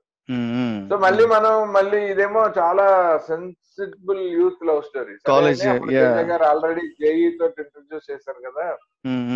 టూ డేస్ క్రితం జే- తేజ గారితో అంటున్నాను మీరు మీరు కొత్త వాళ్ళతో చేయటం మానేశారు నేను తీయటానికి రెండో సినిమా హీరోలు లేరని. ఇందాక కిరణ్ గారి టాపిక్ వచ్చింది కాబట్టి సో ఆయన ఒక్కసారిగా అంత బిజీ అయినా కూడా తర్వాత బికాస్ ఆఫ్ డ్యూ టు చాలా వేరియస్ రీజన్స్ వల్ల మొత్తం డౌన్ ఫాల్ అయిపోయింది సో ఆయన చాలా మూవీస్ ఆగిపోయాయి ప్రేమంటే సులువు గద్ర ఏం రత్నం గారితో ఇలాగా సో మీరు ఆయన డౌన్ ఫాల్ అయిన తర్వాత టచ్లో ఉన్నారా ఉదయ్ కిరణ్ గారితో ఆ, ఉన్నాను ఉన్నాను. సో అప్పుడు ఎలా ఉండేది ఆయన స్టేట్ ఆఫ్ మైండ్ అప్పుడు కూడా ట్రై చేశాను. నేను యాక్చువల్లీ అతను చనిపోయే ముందర కూడా నేను మనసంతా నువ్వే సీక్వెల్ ఒక ప్రొడ్యూసర్ తీసుకెళ్ళి అడ్వాన్స్ ఇవ్వడానికి కూడా ప్రిపేర్ అయ్యాం. తను మనసంతా నువ్వే సీక్వెల్ ఒప్పుకోలేదు. కానీ ఆ ప్రొడ్యూసర్ ఏమో అది కాకపోతే తీయను అన్నాడు ఇతను శ్రీరామ్ సీక్వెల్ చేద్దాం జై శ్రీరామ్ అని యాక్షన్ కథ చేద్దాం అన్నాడు యా అవును. ఒరిజినల్ శ్రీరామే మన బ్రెయిన్ చైల్డ్ కాదు మనం మళ్ళీ దానికి సీక్వెల్ మనం ఎందుకు. వద్దన్న తనకి బాగా యాక్షన్ హీరో ఇమేజ్ రావాలని విపరీతమైన కాంక్ష ఉండేది నేనేమో లేదు మనం మనకు ఒక ప్రాజెక్ట్కి ఒక యూఎస్పి ఉండాలి కదా మనసంతా నువ్వే టూ కు ఉన్న యూఎస్పి శ్రీరామ్ టూ కు ఉండదు అని చెప్తుండేవాడిని. సో ఆయన జై శ్రీరామ్ తీశారు అది కూడా అంత సక్సెస్ అవ్వలేదు. ఆయన అతను వేరే వాళ్ళతో సెటప్ చేసుకున్నాడు ఆ project. Okay okay so coming back to this మనసు మాట వినదండి. మనసు మాట వినదు పాటలు చాలా బాగుంటాయి. ఆడియో ఈజ్ బిగ్గెస్ట్ హిట్ చాలా. బాగుంది అందులో మంచి పాట కూడా శ్రీరామ్ సీతారాం శాస్త్రి గారి పాట కూడా చాలా బాగుంటుంది. నువ్వు. నిజం మంచి లిరిక్స్. సో అయితే ఆ మూవీ ఫస్ట్ ఒక ఫార్టీ మినిట్స్ వరకు బాగుంటుందండి. నేను చూసాను మూవీ. నేను థియేటర్లో చూసాను ఫస్ట్ ఎంత టూ త్రీ డేస్ ఎక్కువ రోజులు ఆడలేదు. అది రిలీజ్ బాగా గుర్తు నాకు చూసాను నేను. ఫస్ట్ ఒక half an hour forty minutes బాగానే ఉంటుంది మూవీ మూడ్లోకి వెళ్ళిన తర్వాత. కాలేజ్ ఫెయిర్ అది స్టార్ట్ అవుతుంది. సో ఎందుకో తర్వాత ఆ,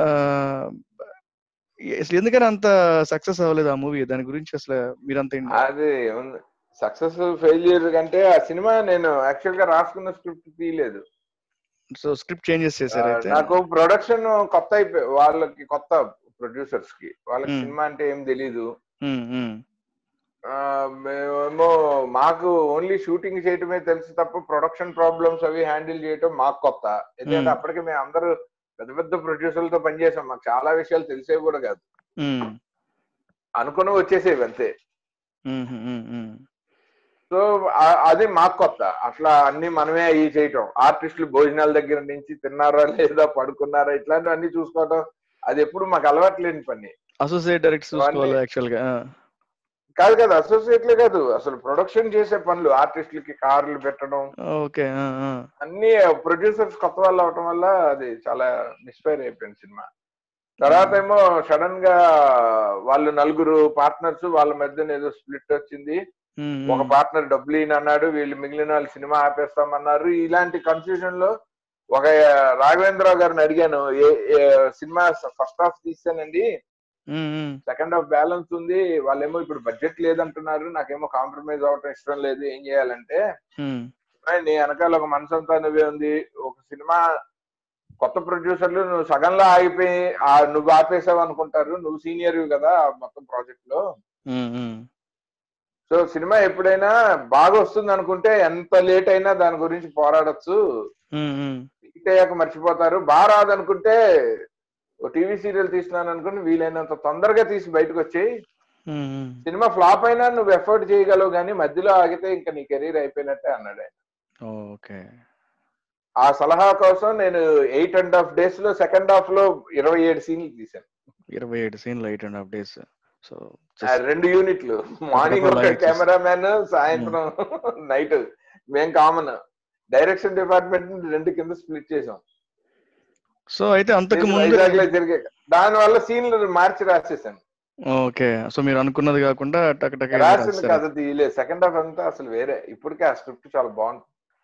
మళ్ళీ ట్రై చేయొచ్చు కదండి. ఎందుకంటే అంటే అంత ఓపెనింగ్ బాగుంటుంది మూవీ. అసలు ఫస్ట్ ఇంట్రడక్షన్ గానీ ఆ హీరోయిన్ అదంతా డీటెయిలింగ్ ఉంటుంది.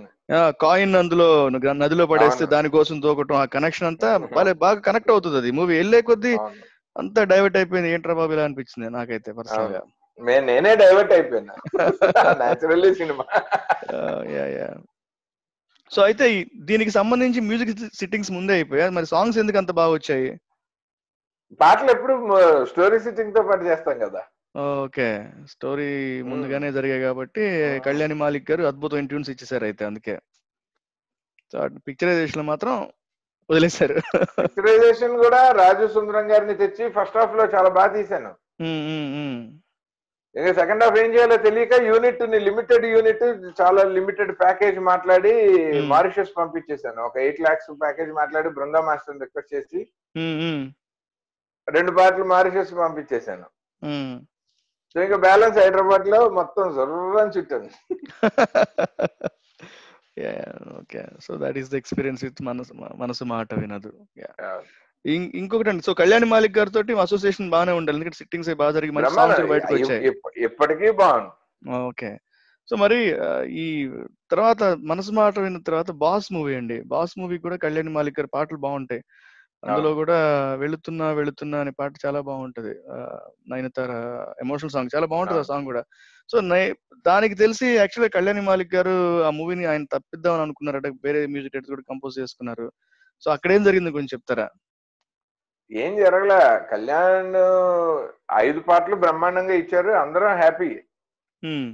కాకపోతే ఒక పబ్ సాంగ్ దగ్గర చిన్న ఇష్యూ వచ్చింది. తను అది ఆ- సాంగ్ అష్టాచమ్మలో కూడా ఉంటుంది. నాని పబ్ సాంగ్ కింద ఆ. సాంగ్ మాకు ఇచ్చిన ట్యూన్ హ్మ్. అదొకటిను అష్టాచమ్మాలో ఆడించి అష్టాచమ్మ అనే ట్యూన్ నాకు చాలా ఇష్టం అది కూడా మా బాస్ కోసం పుట్టిందే ఆ. రెండు ఆ రెండు పాటలు మన గౌరించి పుట్టినవి ఓకే. అయితే అందులో మాకు ఆ పబ్ సాంగ్ నచ్చలేదు నచ్చకపోతే అప్పుడు మేమేం చేసామంటే కళ్యాణ్ గారికి చెప్పాము మాస్టర్. ఇట్లాగా సో హీరోకి కానీ ప్రొడ్యూసర్కి కానీ నాకు కానీ ఆ పబ్ సాంగ్ ఒకటే కొంచెం తేడాగా ఉంది. ఆయన చాలా పర్టికులర్ లేదు నన్ను నమ్మండి ఇది బాగుంటుందని. హీరోల సినిమాల్లో అలా అలాగా ఓన్లీ ట్రస్ట్ మీద వెళ్ళలేము ఆ ఆథెంటిసిటీ ఉండాలి. ఉత్తి బ్లైండ్ బిలీఫ్ మీద వెళ్ళలేము. ఎందుకంటే స్టేక్స్ ఎక్కువ ఉంటాయి కదా. కెరీర్లు తో సహా అన్ని స్టేక్స్లో ఉంటాయి. పెద్ద హీరోల సినిమాలు. డబ్బులు ఒకటే కాదు. అదేలేండి. సో అలా అప్పుడు ట్రాక్ కొని మనం ట్రాక్ కొనుక్కుందాం అనుకున్నాం. హిందీలో మంచి అప్పుడు హ్యారీ ఆనంద్ వీళ్ళందరూ టీ సిరీస్లో మంచి మోడర్న్గా అప్పుడే బాగా వస్తున్నారు రీమిక్స్ తోటి సో పప్ కల్చర్కి యాక్చువల్గా ఆ సౌండ్ కావాలి. అది మన వాళ్ళకి అది మనకు తెలియాలని రూల్ కూడా లేదులేండి. ఇప్పుడు. మేం కథలు ఆ హాలీవుడ్ సినిమాలు చూసి రాసినంత తప్పు లేదు. ఒక చూను హిందీ పక్కనున్న హిందీని తెచ్చుకుంటే ఏముందన్న లెక్కలో ఉండేవాళ్ళం అప్పట్లో. కానీ ఆయన ఒప్పుకోలే. అప్పుడు అలా తీసుకుంటే అతని పేరే వేయండి అన్నాడే. Oh right. పర్టికులర్గా నైస్. అదే ఆయన ఆయన ఆయన ప్రొఫెషనల్ ఎథిక్సే. తప్పించి మేం తీసేయటం అన్నది అసలు ఎప్పుడు జరగదు. ఎప్పుడు. లేదు కూడా. సో ఆయనే అది తప్పు. ఆయన ఎథికల్గా ఈవెన్ కీరవాణి గారు కూడా. ఆయన కీరవాణి గారు చాలా ఆల్బమ్స్లో విశ్వనాథన్ ఇంకోటి ఏదో పేరు వేసేస్తారు. ఆయన ఆయన వేసుకోరు పేరు. అది వాళ్ళకి ఉంది. ఎథికల్గా వాళ్ళు when the feel it is not my tune అంతే వాడికే ఇచ్చేయండి పేరు అన్నాడు అంటే అప్పుడు హ్యారీ ఆనంద్ వచ్చాడు. సరే ఇంకెట్లాగే హ్యారీ ఆనంద్ నచ్చినట్టు కొట్టాడు. దున్నేసే దున్నేసే పాట కొట్టాడు కదా ఇంకొక రెండు పాటలు అతనికి ఇచ్చేసి. సో అట్లాగే ఎందుకంటే మళ్ళీ అతను నేమ్ వాడితే అతను నాకు ఒక సాంగ్ ఏంటి అన్నాడు అతను. ఓకే ఒక సాంగ్ అదేలేండి. ఎలాగే నా నేమ్ వాడుతున్నారు అదేదో కాస్త అందరికీ తెలిసేటట్టు వాడండి అన్నాడు. సరే. మళ్ళీ అతన్ని సాటిస్ఫై చేయాలి కదా. సో టైటిల్స్లో క్రెడిట్ ఉందండి ఆయనకి హరి ఆనంద్కి ఇద్దరికి ఇద్దరికి ఇచ్చాము ఆడియోలో కూడా. ఎవరి పాటలు వాళ్ళవి. అంటే సంగీత దర్శకుడు కళ్యాణి మాలిక్ అని ఉంటుంది. బట్ ఆ పాటల దగ్గర సంగీతం హ్యారీ ఆనంద్ అని ఉంటుంది. ఓకే. అదేలేండి. తర్వాత మీరు రెయిన్బో అని ఒక మూవీ తీశారు. యాక్చువల్గా రెయిన్బో మూవీ ఆ స్టోరీని మీరు ఒక ఫస్ట్ ఒక పెద్ద హీరోకి చెప్పారట. సో ఆ హీరో కూడా దాన్ని యాక్సెప్ట్ చేసి బట్ కానీ మీరు స్టోరీ చెప్పేటప్పుడు ఒక ప్రొడ్యూసర్ని అనుకుని వెళ్తే ఆ ప్రొడ్యూసర్ అయితే నేను చేయను. ఆ, వేరే ప్రొడ్యూసర్ని మాట్లాడదాం అని అని అన్నారట. ఆ హీరో ఆ ప్రొడ్యూసర్ తెలుసుకోవచ్చా? అది అది ముగ్గురు సినిమాకి. ముగ్గురు సినిమాకి ఓకే. కాదు. ముగ్గురికి అది. Okay okay. సో రెయిన్బోకి అయితే కాదు అయితే రెయిన్బోకి యాక్చువల్లీ వరుణ్ సందేశ్ అనుకున్నాము. అప్పుడు అతను ఏవిఎం వాళ్ళ సినిమా ఒకటి వచ్చింది. మా ఫ్రెండే డైరెక్టర్ శంకర్ కే మార్తాండని సో అప్పుడు వాళ్ళ బ్రదరే సజెస్ట్ చేశారు ఆయన మార్తాన్ కే వెంకటేష్ గారు. ఈ టైసన్కి చాలా మంచి పేరు వచ్చింది ఆడపిల్లల్లో మంచి ఫాలోయింగ్ కూడా ఉంది. రాహుల్. రాహుల్కి ట్రావెల్స్ అది బాగా వర్కౌట్ Travels, అయింది. సినిమాలో. వాడిని కూడా ట్రై చేయొచ్చు నువ్వు అంటే అప్పుడు అతన్ని అప్రోచ్ చేయం. అయితే మేము అనుకున్న టైంకి సినిమా తీయలేకపోయాం. ఎందుకంటే నేను ముహూర్తం పెట్టుకున్న ఒక four five days before Rahul వాళ్ళ ఫాదర్ చనిపోయారు పాపం. ఓకే. సో అతను ఒక సిక్స్ మంత్స్ వరకు రాలేడు. ఈ లోపు అందరూ గొడవ చేశారు. మనం పెట్టుకున్న ముహూర్తానికి హీరోని మార్చేద్దామని. నేను ఎథికల్గా అది కరెక్ట్ కాదు కదా. వాళ్ళ నాన్నగారు పాపం చాలా బాగా మాట్లాడుతుండేవారు నాతోటి ఇతని కెరీర్ గురించి. అలా నేను ఒక ఎయిట్ మంత్స్ ఆగి ముహూర్తం చేసేసరికి ఈ లోపు కాస్ట్ బాగా పెరిగిపోయింది. ఈ ఇండస్ట్రీలో యూనియన్ రూల్స్ కూడా విచిత్రంగా మారిపోయాయి. అంటే పర్ డే కాల్ షీట్ బత్తాల దగ్గర నుంచి ప్రతిదీ నాకు తెలియదు మూడు రెట్లు అయిపోయాయి. అండ్ ఆ తర్వాత ఇంకా సినిమాని బాగా తీయాలా డబ్బులు సేవ్ చేసుకోవాలా అన్న ప్రాసెస్లో డైరెక్టర్గా నన్ను నేను సేవ్ చేసుకోవాలి డబ్బుల గురించి ఆలోచించొద్దు తర్వాత బతుకుంటే మళ్ళీ సంపాదించుకుందాం అని చెప్పి నేను ఆ చాయిస్ నేనే తీసుకున్నాను. యాక్చువల్లీ నాకు రెండు రెండు ఆపర్చునిటీస్ ఉన్నాయి సినిమా మధ్యలో ఆపేయచ్చు. డైరెక్టర్గా నా కెరీర్ ఆ సినిమా మీద ఎలాంటి ఎమోషనల్ అటాచ్మెంట్ లేకుండా ఉంటే మనీయే ఇంపార్టెంట్ అనుకుంటే నేను ఆపేసి ఉండొచ్చు. బట్ నేను అది ఎప్పుడు చేయలేను. అట్లా నన్ను నమ్మి కొంతమంది ఆర్టిస్టులు టెక్నీషియన్స్ వాళ్ళకి ఏదో కెరీర్ ఉంటుంది అని అనుకున్నప్పుడు. మనం ఏదో మనకు వచ్చే టెంపరీ మనీ మానిటరీ బెనిఫిట్ కోసం అట్లా చేయకూడదు అని చెప్పి నేను. పర్పస్ఫుల్లీ డబ్బులే వదులుకోవడానికి సిద్ధపడ్డా. దానివల్ల ఇప్పటికీ ఇండస్ట్రీలో ఉన్నాను నేను. నమ్ముతాను. అంత ఎథికల్గా ఉన్నాను కాబట్టి. సో దానికి సాంగ్స్ కూడా మ్యూజిక్ కూడా మీరు నిహాల్. ట్రై చేసినట్టున్నారు. నేహాల్ని ఇంట్రొడ్యూస్ చేసాం నిహాల్ ఇంతకుముందు చేసినట్టున్నారండి అది కాదు ఫస్ట్ సినిమా అదే rainbow. If I'm not wrong అంతకుముందు చేశారండి సురేష్ బాబా అని ఒక మూవీ ఉంటుంది. కాదు నిహాల్ ఫస్ట్ ఫిల్మ్ రెయిన్బో తర్వాత చేశారు రెండు సినిమాలు. టూ థౌజండ్ టూ లో సురేష్తో మూవీ ఉంటుందండి భవానీ. దానికి బహుశా నిహాల్ అనుకుంటా. అది నిహాల్? కాదు. మరి ఆయన ఆ, తెలీదు అయితే. అలా అయితే రీలాంచ్ ఏమో. టూ థౌసండ్ ఎయిట్లో చేసే టైంకి ఆయన నాకు తెలిసి టూ థౌసండ్ టూ లో ఆయన మారిషస్కి ఎక్కడ బ్రాండ్ అంబాసిడర్గా ఉన్నారండి. అంటే టూ థౌజండ్ వన్ ఆ టైంలో సురేష్ మూవీ ఉంటుందండి భవానీ అని. ఓ. దానికి యాక్చువల్గా ఆయన మ్యూజిక్ డైరెక్టర్ అనుకుంటా. చూద్దాం నేను మీకు తర్వాత. నేను కూడా చెక్ చేయాలి ఇది నాకు న్యూస్ యా యా. యాక్చువల్ నాకు యాక్చువల్గా నాకు కాలేజ్ డేస్ నుంచి కూడా ఎవ్రీ వీక్ ఒక మూవీకి వెళ్ళటం అలవాటు. సో అట్లాగే అప్పుడు భవానీ మూవీ చూసాను నేను గుర్తుంది నాకు. అట్లా నిహాల్ భవానీ సినిమా నేను చూసాను నాకు గుర్తు. ఆ, సురేష్ గారిది. సో దాని- దానికైతే మ్యూజిక్. నిహాల్. ఓకే. సో ఇది కొత్త విషయం అయితే మీకైతే. సో తర్వాత ఈ ముగ్గురు అయితే ఇందాక ఇందాక అడిగిన క్వశ్చన్ ముగ్గురికి అయితే అనమాట నేను రెయిన్బో కాదనమాట. ఫస్ట్ అడిగాను కదా ప్రొడ్యూసర్. మారారు అనేది. అది ఫస్ట్ మంచి హీరో కథ చెప్పి ఒక మంచి మార్కెటబుల్ హీరో స్టార్ హీరో. కానీ ఆ కథని నమ్మి నేను మనం ఈ సినిమా చేయాలని ఇష్టపడిన ఒక ప్రొడ్యూసర్. వేరే ఎవడైనా నా ప్లేస్లో ఉంటే హీరో తోటి వెళ్ళిపోతాడు. ప్రొడ్యూసర్కి ఇంకోటి చూద్దాంలే తర్వాత అని. నేను మాత్రం అది తప్పని చెప్పి ఆ హీరోకే చిన్న క్లాస్ లాగా పీకి ప్రొడ్యూసర్ తోనే ఉండిపోయి. ఆయన ఎవరితో చెప్తే వాళ్ళతోనే చేస్తా ఎంత బడ్జెట్ అంతే కదా కరెక్ట్. ఎందుకంటే ఫస్ట్ ఆయన పెట్టుకుని వెళ్ళాం కాబట్టి ఫస్ట్ ఆయన ఆయన కదా దీన్ని నచ్చి మనం సినిమా తీయాలన్నారు. అప్పటికి నేను జనరల్గా అడ్వాన్స్ లవి పెద్దగా ఎగబడి తీసుకోను. ఎందుకంటే. సినిమాల సంగతి తెలుసు కదా. ఎప్పుడు ఎలా మారుతుందో తెలియదు అని చెప్పి ఎంతో అవసరమైతే అతి తక్కువ తీసుకుంటాను. మళ్ళీ నేను తిరిగి చేయగలిగినంతే తీసుకుంటా. కొంతమందిని అయితే వాళ్ళు ఇంకా మరీ గొడవ గొడవ పెట్టేస్తే ఓ వెయ్యి నూట పదార్లు ఎంత ఇవ్వండి చాలని చెప్పి పంపించేసిన సందర్భాలు.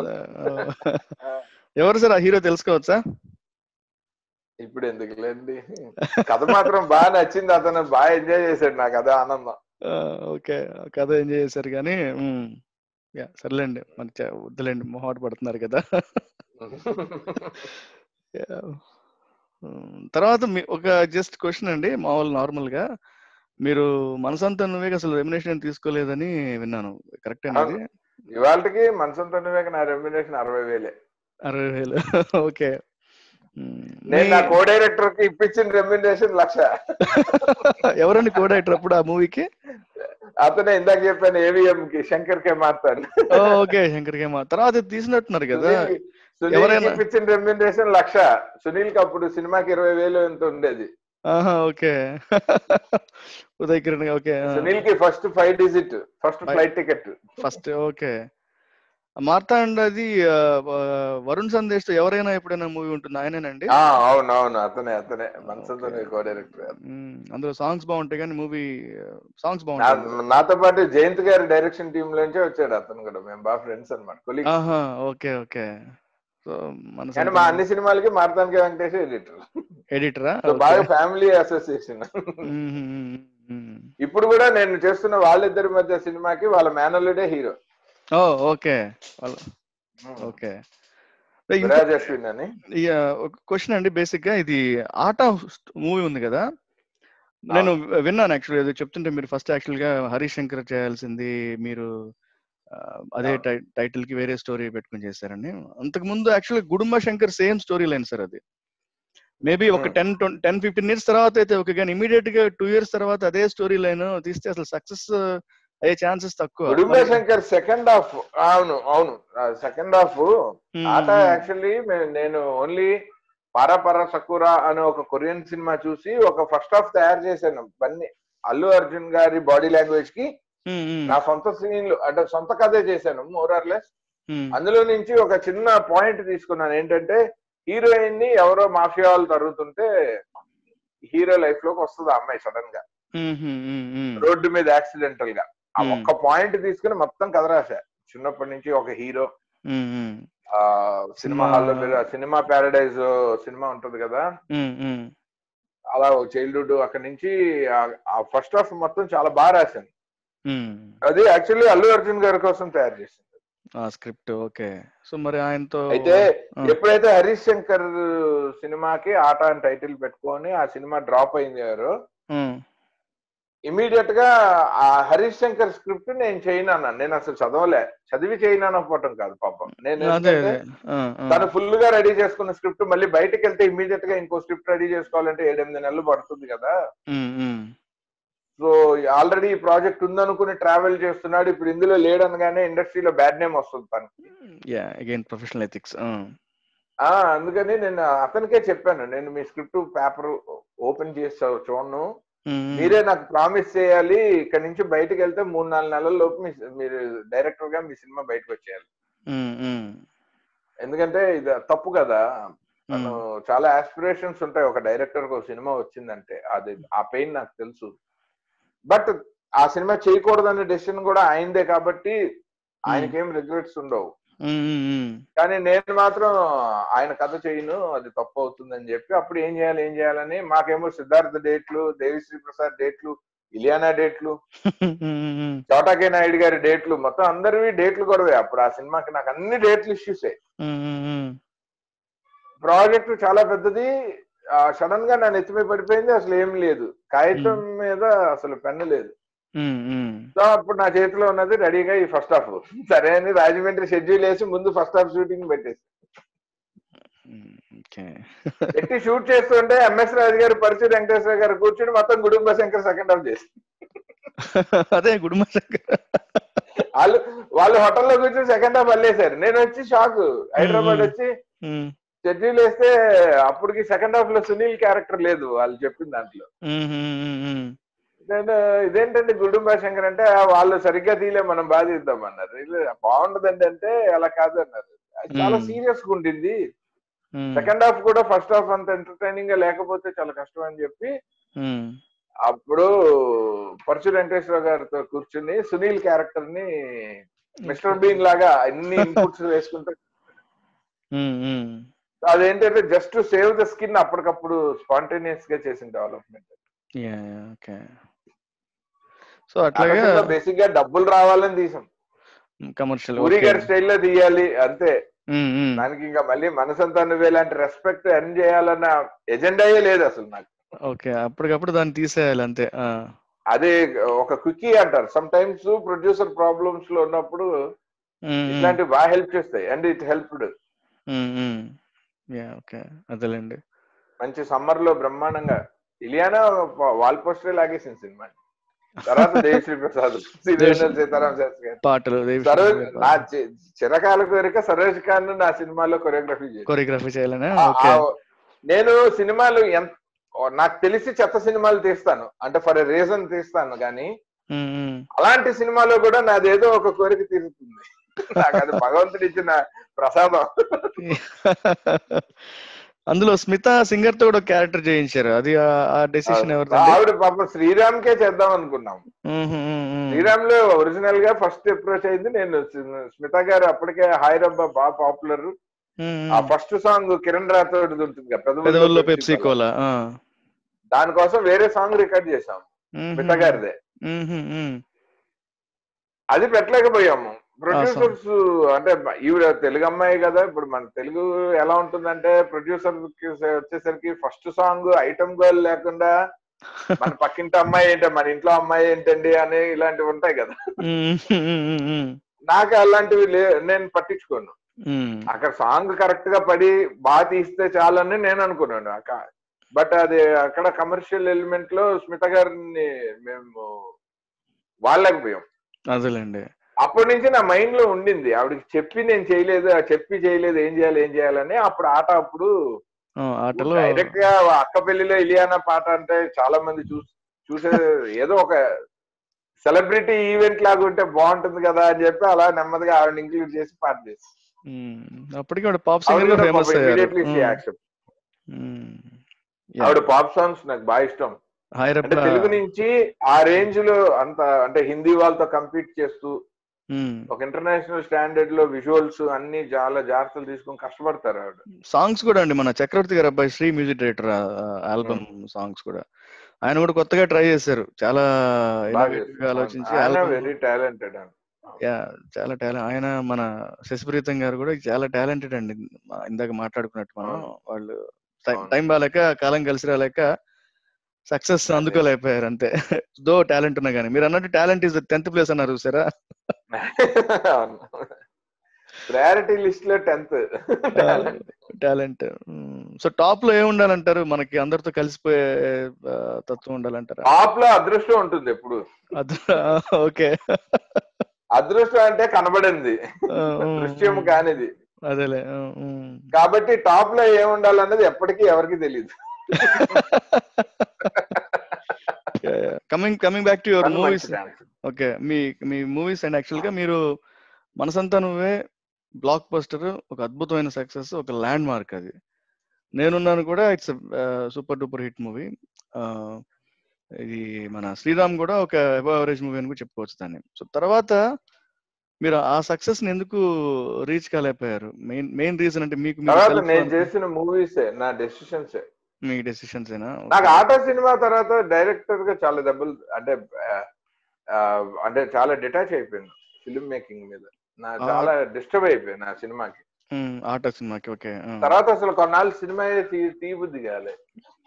ఆటో టూ levels సెవెన్ అనుకుంటా. తర్వాత ఫోర్ ఇయర్స్? ముగ్గురు తీసినట్టున్నారు కానీ ఆ తర్వాత మధ్యలో రెయిన్బో తోటి ఇంకా అసలు ఇంకా రెయిన్బో పెద్ద దెబ్బ తగిలేసి రెయిన్బో అది ఆట నుంచి బయటకు వచ్చి రెయిన్బో తో ప్రూవ్ చేసుకుందాం అనుకునే చేసిన మిస్టేక్ ఏంటంటే నేను కమర్షియల్గా క్యాలిక్యులేట్ చేయడంలో ఫెయిల్ అయ్యాను సినిమాని కానీ ఏస్థెటిక్స్లో ఇప్పటిదాకా ఫెయిల్ కాలే. ఇప్పుడు ఇవాళకి కూడా నేను కాన్ఫిడెంట్గా చెప్పగలను. ఒక సీన్ ఇస్తే నేను పండించినట్టు వేరే ఎప్పుడు పండించలేదు.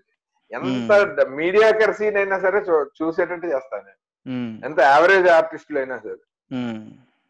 అది- ఆ మ్యాజిక్ ఇప్పటికి ఉంది. అది డైరెక్టర్గా నా పెద్ద స్ట్రెంగ్త్ అది. అది ఎవరికి తెలియదు కదా. ఎందుకనే రివ్యూల్లో దర్శకుడు తప్పు చేశాడు అన్నది ఎక్కడా రాదు.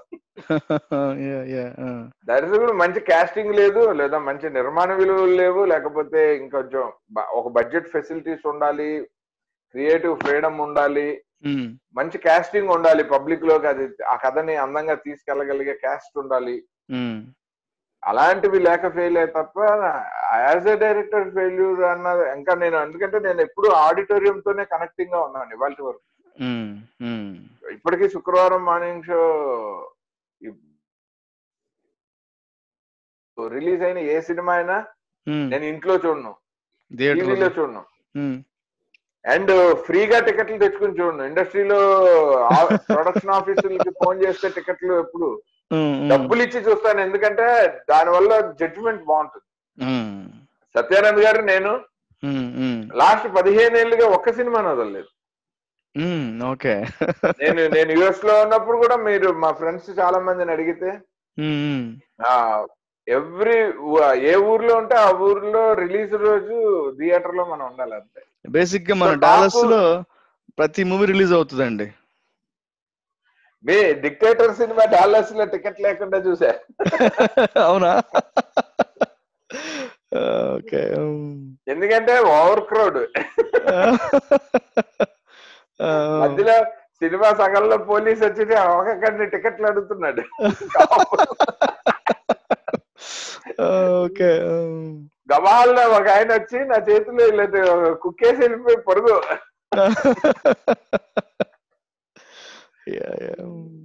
ఫన్ అది. ఏదో మన ఊర్లలో చేసినట్టు చేసాం. యా ఇక్కడ అంతే ఉంటుందండి. మూవీ రిలీజ్ అయితే చాలు. పండగ అసలు ఇక్కడ. అవును. ముఖ్యంగా డాలస్ మన తెలుగు మూవీస్ బాగా ప్రతి మూవీస్ ఎవ్రీ థర్స్డే ఇక్కడ మాకు ఇండియాలో ఫ్రైడే. కదా. ఇక్కడ థర్స్డే ఈవినింగ్ అంటే పండగ అనమాట అవునవును. సో తర్వాత మీరు చాలా మూవీస్ తీసారు రెండు మూడు తీసినట్టున్నారు. పార్క్ అని తర్వాత ఇంకా ఆర్ఫన్స్ ఆఫ్ సంథింగ్ ఏదో. ఫోర్స్ ఆర్ఫన్స్ మన యుఎస్లో పీపుల్ మీడియా ఫ్యాక్టరీ వాళ్ళకి చేశాను అది దానికి పదకొండు ఇంటర్నేషనల్ అవార్డ్స్ వచ్చాయి. దాని దాని వల్ల. డైరెక్షన్ చేయగలను అన్న విషయం మళ్ళీ అర్థమైంది. నాకును మిగిలిన ఎందుకంటే అప్పటికే చాలా డిటాచ్ అయిపోయినా. ఉమ్, అంటే not with the industry industry తోటి ఎప్పుడు అవ్వలే. ఇండస్ట్రీ కూడా నన్ను ఎప్పుడు డిజోన్ చేసుకోలే. నాకే పర్సనల్గా ఎక్సైట్మెంట్ రాలేదు. టువర్డ్స్ మై వర్క్ అది రాను రాను డిటీరియరేట్ అయిపోతూ వచ్చింది. అలా మళ్ళీ ఎక్సైట్మెంట్ క్రియేట్ చేసిన ఫ్యాక్టరే forced orphans force orphans okay. ఆ స్క్రిప్ట్ నేను చాలా పర్ఫెక్ట్గా నాకు రైట్ టైంలో అలా భగవంతుడు పంపించినట్టు వచ్చింది. అది శ్రీరామ్ బేగరాజ్ గారని. పీపుల్ మీడియా ఫ్యాక్టరీ విశ్వప్రసాద్ గారు మనం ఏదైనా సినిమా యుఎస్లోనే చేద్దామండి అన్నప్పుడు ఆ స్క్రిప్ట్ కాకపోయింటే నేను హండ్రెడ్ పర్సెంట్ ఆయనతో ఉన్న ఫ్రెండ్షిప్ రీత్యా వద్దు సార్ అన అనాల్సిన పొజిషన్లో ఈ స్క్రిప్ట్ వచ్చింది మ్మ్. ఇమ్మీడియట్గా అది ఇంకా ఎంత రేంజ్కి ఇష్టపడ్డానంటే అంటే with right publicity and release మన తీసుకెళ్ళి అకాడమీ నామినేషన్స్లో కూర్చోబెట్టగలిగినంత వాల్యుబుల్ వస్తున్నాయి అసలు మూవీ చూడలేదండి కాకపోతే మేము అది ఒక? స్టార్ట్అప్ ప్రోడక్ట్ కింద చేసాము? ఆ మూవీ చూడలేదు నేను దొరుకుతుందా ఇప్పుడు ఎక్కడైనా చూడటానికి మనకి ఆ మూవీ ఇప్పుడు త్వరలో రిలీజ్ అవుతుందండి ఓటీటీలో ఓకే ఓటీటీలో రిలీజ్ అవుతుంది అయితే సో థియేటర్ రిలీజ్ అవ్వలేదు అది? లేదు. ఓకే అది షూటింగ్ అవటం నేను ఇండియాకి వచ్చాను. ఓకే అక్కడే ఇంకొక ఐదారు నెలలు కంటిన్యూ చేస్తే డెఫినెట్గా. అప్పుడు ఒక కన్నడ సినిమా కోసం నన్ను ఇమ్మీడియట్గా ఇండియాకి పిలిచారు. ఆ తర్వాత కన్నడ మెటీరియలైజ్ అవ్వలేదు. అక్కడ నుంచి ఇక్కడ మళ్ళీ గీతా ఆర్ట్స్లో స్టోరీ కన్సల్టెంట్ కింద జాయిన్ అయిపోయాను స్టోరీ డిపార్ట్మెంట్లో అడ్వైజరీ పోస్ట్. ఓకే. ఈలో. అల్లు అర్జున్ కథ తయారు చేసుకొని ఎట్లా రకరకాలు ఇంకా. ఇప్పుడు కథ ఉందండి అల్లు అల్లు అర్జున్ గారితో చేయడానికి స్టార్ట్ అయింది ఉంది. ఇంకా స్టార్ట్ కాలే. ఆయన- కాలేదు. ఆయనే అనౌన్స్ చేస్తారు. ఓకే. అయిందో లేదో కూడా నాకు తెలియదు కానీ ఆయనకైతే నచ్చింది. సేమ్ ఇందాక చెప్పినట్టు. హీరోలకు నచ్చితే సినిమా జరిగిపోతుందేమో అని అనుకుంటాం కానీ కాదన్న విషయం ఇలాంటప్పుడే తెలుస్తుంది. సార్ ఇప్పుడు జస్ట్ ఒక నార్మల్ క్వశ్చన్ మీరు కంఫర్టబుల్ చెప్పండి లేకపోతే లైట్ మీరు ఇప్పటివరకు తీసుకున్న హైయెస్ట్ రెమ్యునేషన్ ఏ మూవీకి అండి ఎంతో తెలుసుకోవచ్చా? నేను చాలా తక్కువే సార్. హైయెస్ట్ రెమ్యునరేషన్ అంటే బాస్కి సార్. బాస్కి ఓకే. అది బాస్కి థర్టీ ఎయిట్ ల్యాక్స్ అంత ఫార్టీ ల్యాక్స్ అంటే almost fifteen years back ten thirteen forty fourteen years back అనుకుంటా బాస్ అంటే టూ థౌసండ్ ఎయిట్. ఎప్పుడు మనీ అసలు ఈ రోజు దాకా నేనుగా డిమాండ్ చేయలేదు. యా యా అదేలేండి ఓకే ఎప్పుడు మనీ గురించి. నాకు మనసు తను తర్వాత కోటి రూపాయలు ఇస్తామని ప్రొడ్యూసర్కి నేను సినిమా చేయలేకపోయాను. బాగా తెలిసి ఇంట్లో పిల్లల్లా చూసిన ఆయనకి అసలు డబ్బులు అడగకుండా శ్రీరామ్ చేశాను శ్రీరామ్ బూరుగుపల్లి శ్రీరామకృష్ణ గారికి ఓకే But శ్రీరామ్కి అయితే మీరు- ఇచ్చారు. నేను శ్రీరామ్కి నేను డిమాండ్ చేయలే ముగ్గురికి నేను డిమాండ్ చేయలే ఆటకి. నేను డిమాండ్ చేయలే. ఏ నేనున్నానికి నేను డిమాండ్ చేయలే. మనసు మాట వినదు ప్రొడ్యూసర్స్ నేను అందరికంటే అతి తక్కువకి చేశాను నేను నేనున్నాను. ఓకే. ఓన్లీ నాగార్జున గారి కోసం. అండ్ ప్రొడ్యూసర్ అప్పటికే ఆయన నాకు బాగా నచ్చాడు. నా మనుషులు నచ్చితే డబ్బులు అడగను. అదో పెద్ద ప్రాబ్లం ఉంది. సో మనీ ఎవరు లీస్ట్ చేసేయాలనిపిస్తుంది అసలు. నాకు టెన్త్ ప్లేస్ లైఫ్లో యా సో ఇప్పుడు మీ లేటెస్ట్ మూవీ అండి వాళ్ళిద్దరి మధ్య రీసెంట్గా ఆర్జీవి గారితో సాంగ్ కూడా రిలీజ్ చేశారు. అవును. సో మనం ఈ మూవీ గురించి కొంచెం మాట్లాడుకుందాం. అసలు ఏంటి ఈ మూవీ స్పెషాలిటీ ఏంటి? ఎటువంటి జోనర్ కింద వస్తుంది? దీన్ని ఎలా ఇది మంచి ఒక కాంటెంపరీ లవ్ స్టోరీ అండి. వేదాంత్ క్రియేటివ్ వర్క్స్ అదే నేను ఇప్పుడు మన గీతా ఆర్ట్స్ లోను పీపుల్ మీడియా ఫ్యాక్టరీలోను స్టోరీ డిపార్ట్మెంట్ కన్సల్టెంట్ కింద ఉన్న టైంలో. ఒక తెలిసిన ఫ్రెండ్ ద్వారా కొత్త ప్రొడ్యూసర్స్ అప్రోచ్ అయ్యారు మ్మ్. యాజ్ యూజువల్ చెప్పాను ఇండస్ట్రీలో ఉండే ప్రాస్ అండ్ కాన్స్ అన్ని ఇలా. అయితే ఇలా అవుతుంది నేనే పెద్ద ఎగ్జాంపుల్ సొంత సినిమాలే పార్క్ ఆల్రెడీ రిలీజ్ కాలేదు. సో ఇలాంటి కష్టాలన్నీ ఉంటాయి ప్రిపేర్ అయ్యి తట్టుకుని ఇది కెరీర్ అనుకుని. దగ్గరుండి ప్రొడక్షన్ చూసుకున్న వాళ్ళే ఇవాళ వరకు ఇండస్ట్రీలో పెద్ద ప్రొడ్యూసర్స్ అయ్యారు అరవింద్ గారైనా సురేష్ బాబు అయినా దిల్ రాజు గారైనా దత్ గారైనా. ఎక్కడో ఉండి ఇక్కడ చూసుకునే వాళ్ళందరూ అంత సక్సెస్ఫుల్గా లేరు. ఎందుకంటే ఇండస్ట్రీ అలాంటిది దాని ఫంక్షన్ స్టైలే అది దగ్గరుండి దగ్గరుండి చూసుకునే వాళ్ళు ఎవరు నష్టపోలే. లేకపోతే అసలు ఇప్పటికి ఇంకా సినిమాలు తీయలేముగా అంత ఇది బేసిక్గా లాస్ట్ ఈక్వేషన్ అయితే ఎవడో సినిమాలు తీయడు కదా. అవును. సో బేసిక్గా మనీ ఉంది కానీ with with some professional disciplines ఉంది. సో వీళ్ళు నాక్స్ ఇంజనీరింగ్ వర్క్స్ అనే ఆయన aerospace engineering and manufacture hmm. Business ఉంది. నిర్మల్ నిర్మల్ నుంచి వచ్చారు అర్జున్ దాస్యన్ గారు. వెరీ యంగ్ ఎంటర్ప్రెన్యూర్ చాలా బాగా అనిపించారు నాకు. ఫస్ట్ మీటింగ్లోనే అంటే చాలా సినిమాలు ఆయన the way he's talking about movies చాలా మూవీ బఫ్ బఫ్ లాగా ఉన్నారు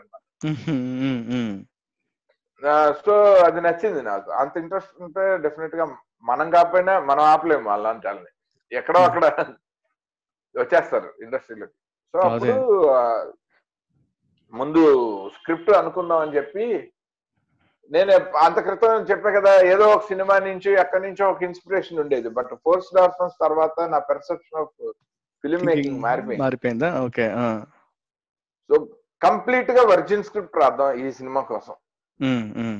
ఎక్కడ అంటే కొడితే ఇదే ప్రపంచంలో అన్ని భాషల్లోకి వెళ్ళాలి. ఒక కొరియన్ లాంగ్వేజ్లోకి ఒక ఇంగ్లీష్ లాంగ్వేజ్లోకి హిందీలోకి వెళ్ళాలి తప్పితే మనకి ఏ సినిమా రిఫరెన్స్ ఇందులో ఉండకూడదని రాసిన స్క్రిప్ట్ ఇది. ఫస్ట్ టైం బా ఓకే. దానికోసం సత్యానంద్ గారు నేను వెంకట్ డిపతి అని తను నాని దేవదాస్ గ్యాంగ్ లీడర్ సినిమాలకి డైలాగ్ రైటర్ సో మేము ముగ్గురం కూర్చుని ప్రొడ్యూసర్ మొత్తం నలుగురం కూర్చుని బాగా బ్రెయిన్ స్టామ్ చేసాం ఒక ఎనిమిది నెలలు స్క్రిప్ట్ చాలా సాటిస్ఫాక్టరీగా వచ్చిన తర్వాత స్టోరీ బోర్డ్ వేసాం ఓకే. ఇది కూడా నేను ఫస్ట్ టైం చేయటం అంటే ఒక టెక్నికల్ స్టోరీ బోర్డ్ అంటే ఏంటండి అసలు? కొంచెం చెప్తారా? అంటే షార్ట్ డివిజన్ అంటే visual story telling of our dialogue version on paper okay అండి బొమ్మలు గీస్తారా అంతేనా? బొమ్మ దానికి గూగుల్లో ఒక ఆయన ఉన్నారు ఉమ్, ప్రవీణ్ అని ఆయన Hmm. టెక్నీషియన్ ఆయనతో ఆయన్ని హైర్ చేసి ప్రొఫెషనల్గా నేను అనుకున్న కెమెరా యాంగిల్స్ డైమెన్షన్స్ తోటి ఒక ప్రాపర్ స్టోరీ బోర్డు వేసి సో దాంతో ప్లానింగ్ ఈజీ అయిపోయింది. అండ్ దిల్. రాజు గారి దగ్గర మంచి పెద్ద పెద్ద సినిమాలు వంశీ బయటపల్లి సినిమాలు అవి చేసి ఆయన ఉన్నారు ప్రొడక్షన్ ఎగ్జిక్యూటివ్ సూరప్నేని కిషోర్ గారు. సో వాళ్ళని హైర్ చేసి ప్రొడక్షన్ అంతా స్మూత్గా సేల్ చేసాం. అండ్ హీరోయిన్ ఎల్ఏ నుంచి వచ్చింది నేహా కృష్ణ అని. నేహా కృష్ణ ఓకే ఆ, ఆమెను ఇంట్రడ్యూస్ చేసాం. ఫస్ట్ టైం హీరోయిన్ ఇప్పుడు మళ్ళీ యూఎస్లోనే ఉంది. ఉమ్, లాక్డౌన్ లేకపోతే ఇప్పటికి ఇక్కడ ఉండేది షూటింగ్ స్టార్ట్ అయిపోయింది అనమాట ఓకే. యా. మీరు అక్కడే ఇంటర్వ్యూ చేద్దరు కానీ. యా కరెక్ట్ షూర్ అండి ఖచ్చితంగా. ఫస్ట్ సినిమా ఎక్స్పీరియన్స్ ఎట్లా ఉందని అడగాలి కదా. కనెక్ట్ చేయొచ్చండి ఖచ్చితంగా ఎందుకంటే. యాక్చువల్లీ నా ఇంటర్వ్యూ కంటే ఆమె ఇంటర్వ్యూ ఎందుకు బాగుంటది అంటే చాలా మంది యుఎస్లో ఉన్న టాలెంట్కి అసలు ఇక్కడ ట్రీట్మెంట్ అండ్ ప్లాట్ఫామ్ ఎలా ఉంది అన్నది తన ద్వారా తెలిస్తే బాగుంటుంది. సో అంటే ఇక్కడ నుంచి అక్కడికి వస్తే ఎలా ఆ, ఉందని. ఇండియాకి వచ్చి. వాళ్ళకి వాళ్ళు బెటర్గా చెప్పగలుగుతారు మాకన్నా అవును. మాకేముంది మాకు బాంబే నుంచి వచ్చినా కేరళ నుంచి వచ్చినా అమెరికా నుంచి వచ్చినా హీరోయిన్ ఒకటే. కానీ వాళ్ళు వాళ్ళు ఎలా ఉన్నారు అన్నది వాళ్ళని అడగాలి కదా. ఓకే లాంగ్వేజ్ ఇష్యూస్ ఉంటాయి కల్చరల్ క్లాషెస్ ఉంటాయి అన్ని చాలా ఉంటాయి కదా. అదే. Being girl that to being human correct so అన్ని అన్ని ఆస్పెక్ట్స్ లోనూ వాళ్ళ ఎక్స్పీరియన్సెస్ వినాలి. అండ్ మ్యూజిక్ డైరెక్టర్ అక్కడ నుంచే ఇంట్రడ్యూస్ చేసాం సాల్ట్ లేక్ సిటీలో ఉంటాడు మధు శ్రవంతి అని. మధు ఓ అతను ఫస్ట్ టైం అండి డెబ్యూ. ఆవిడ లేడీ లేడీ Oh, lady. ఆవిడ అక్కడ ఒక software techie. Wow nice okay. So చాలా మంచి డెమోలు వినిపించారు నాకు. Okay okay. కుదిరితే వారితో కూడా కనెక్ట్ అవుతారండి వాళ్ళు కూడా ఇంటర్వ్యూ చేద్దాం. హండ్రెడ్ పర్సెంట్ మీకు ఇద్దరిని కనెక్ట్ చేస్తాను రైట్ అంటే ఒక లేడీ అన్నమాట మ్యూజిక్ డైరెక్టర్ నైస్ మన ఇండస్ట్రీ హీరోయిన్ డాలర్స్లోనే ఉంది యాక్చువల్లీ ప్రస్తుతం Oh. అంటే వాళ్ళ పేరెంట్స్ దగ్గర ఉంది. Okay okay. లాక్డౌన్లో డాలర్స్లో ఉంది. లాక్డౌన్లో లాక్ అయిపోయారు ఇక్కడైతే డాలస్లో. సో అంటే coming back the music director lady music director కదా మన దగ్గర శ్రీలేఖ. ఉన్నారు తర్వాత ఇంకా అవును శ్రీలేఖ గారు పార్క్ సినిమా చేశాను. చాలా బాగా ఇచ్చారు ఉమ్, ఆడియో. ఉమ్. తర్వాత ఈవిడ వాళ్ళ వాళ్ళ ఫాదర్ వాళ్ళ అకాడమీకి నేను గెస్ట్గా వెళ్ళాను వాళ్ళకి ఇక్కడ చాలా ఫేమస్ అకాడమీ. ఆయన జీవి ప్రభాకర్ గారు అని వాళ్ళ నాన్నగారు మ్యూజిక్ అకాడమీ ఉంది. దానికి గెస్ట్గా వెళ్ళినప్పుడు నేను అలా పరిచయం వాళ్ళ ఫ్యామిలీ అందరూ తెలుసు. పిల్లలు ఇద్దరు వచ్చారు. అకాడమీ యాన్యువల్ డే ఫంక్షన్ కోసం. సో అప్పుడు ఇంటికి ఇన్వైట్ చేశాను. చేస్తే డెమో వినిపించారు. ఓకే. అదిరిపోయాను. చెప్పాను. నేను నెక్స్ట్ ఎప్పుడు సినిమా చేసినా మిమ్మల్ని నేను ఇంట్రడ్యూస్ చేస్తానండి. సాంగ్ కూడా బాగుందండి అది అక్కడి నుంచి ఇంకా ఇంకా రాబోయేవి ఇంకా వేరే లెవెల్ ఉంటాయి. చాలా బాగుంది. కొంచెం డిఫరెంట్గా ఉంది సాంగ్ అది. సో ఎప్పుడు అనుకుంటున్నారండి రిలీజ్ అది మూవీ? మూవీ ఇంకా వెరీ సూన్ నాకు తెలిసి ఇంకో టూ డేస్లో సెన్సార్ సర్టిఫికెట్ వస్తుంది. సెన్సార్. వాళ్ళు చూశారు. చాలా అప్రిషియేట్ చేశారు.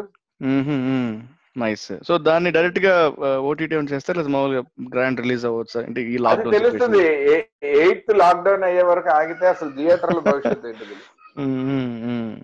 అదేలేండి. సో దీని తర్వాత బేసిక్గా అయితే రెడీ అవుతున్నాము అన్నింటికి.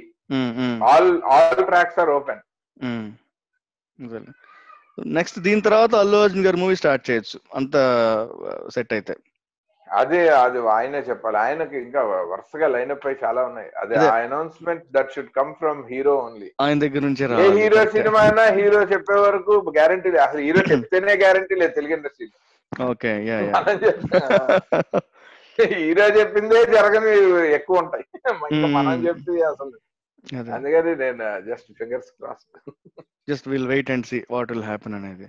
సో బట్ ఈ లోపు మనం ఖాళీగా ఉన్నాం కదా మన స్క్రిప్ట్ వర్క్ చేస్తుండే వేరే చాలా మంచి స్క్రిప్ట్స్ రెడీ చేసుకున్నాను సో యాక్చువల్గా నాకు ఇప్పుడే మైండ్లో వచ్చిన క్వశ్చన్ ఏంటంటేనండి మీరు అంటే ఒక డైరెక్టర్ మీరు పూరి జగన్నాథ్ కానీ తర్వాత సీన్ వైట్లా అంటే కొంతమంది డైరెక్టర్ అవ్వకంటే ముందు కూడా ఒక ten fifteen stories bounded scripts పెట్టుకొని one by one one after one Puri Jagannadh చాలాసార్లు చెప్పారు ఆ ఇడియట్ అమ్మానాన్న తమిళమ్మాయి తర్వాత బద్రి. సెవెన్ అన్ని ఆల్రెడీ బౌండెడ్ స్క్రిప్ట్స్ ఉన్నాయట సో మీరు అట్లాగా ఫస్ట్ డైరెక్టర్గా అవ్వబోయే ముందు మీరు- రెడీగా స్టోరీస్ ఏమైనా నేను బేసిక్గా నా నా- కెరీర్ స్లో అవడానికి కారణం కూడా ఏంటంటే నేను.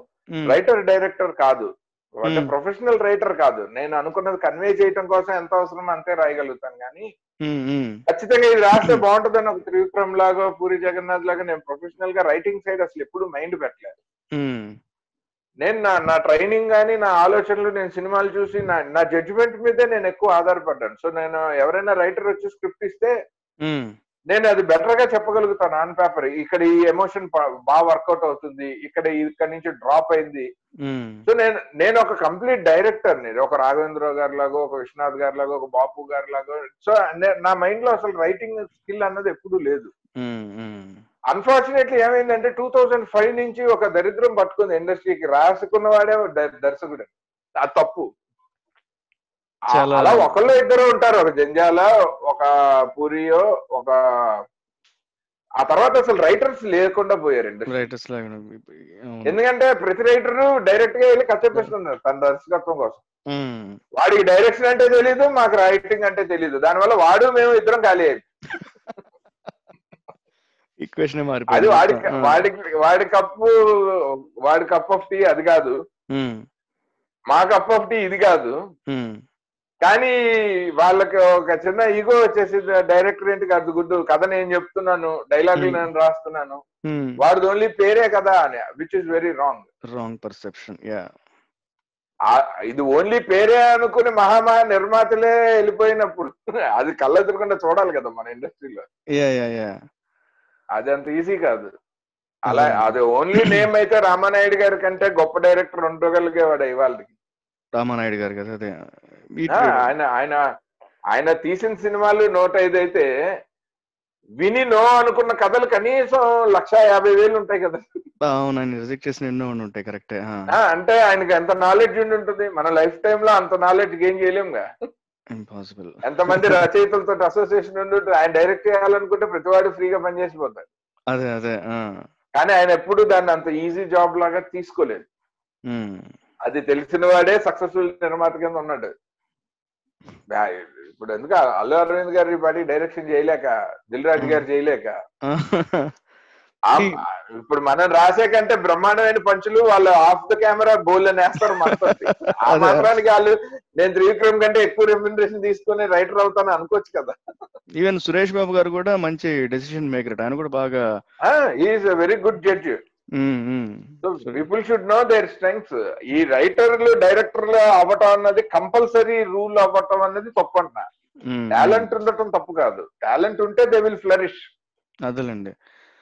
బట్ అది అది ఒక బలవంతంగా రూల్. నువ్వు నువ్వు నీకు డైరెక్షన్ ఇవ్వాలంటే నువ్వే కథ చెప్పాలి అంటే. నేను కథ తీసుకెళ్తే మచ్ బెటర్గా ఉండొచ్చు. అది ఆ హీరోకి ప్రొడ్యూసర్కి హెల్ప్ అవ్వచ్చు. ఏ ఏ ప్రొడ్యూసర్ లాస్ట్ ఎయిట్ ఇయర్స్లో ఇండస్ట్రీలో నీ దగ్గర ఏం కథ ఉంది? ఏ ఒక మంచి కథ ఉందా అని ఎవ్వడు అడగలేదండి. ఉమ్. ఐ డీప్లీ హర్ట్ నువ్వు ఏ హీరో తెస్తావు అని అడుగుతారు నాకు ఒళ్ళు మండి వచ్చేస్తాను కథ అడిగితే యాభై కాదు వంద చెప్తాను నచ్చేదాకా ఒక. దర్శకుడిని అడగాల్సింది కథ కథ ఏంటి? అదేంటి కథ ఏంటి? కథ ఏంటి? ఉమ్, అది అడగాల్సిన ప్రశ్న. ఇప్పటికీ ఒక కథ చెప్తే వినేంత ఓపిక అసలు తెలుగు ఇండస్ట్రీలో ఎవరికి లేదు. వీళ్ళకి మొత్తం రెవెన్యూ గేమ్ తప్ప అసలు సినిమా అన్నది సినిమా తీసే ప్రయారిటీలో ఇరవయో ప్లేస్లో ఉంది నా దృష్టిలో. టాపిక్ వచ్చిన క్వశ్చన్ అండి.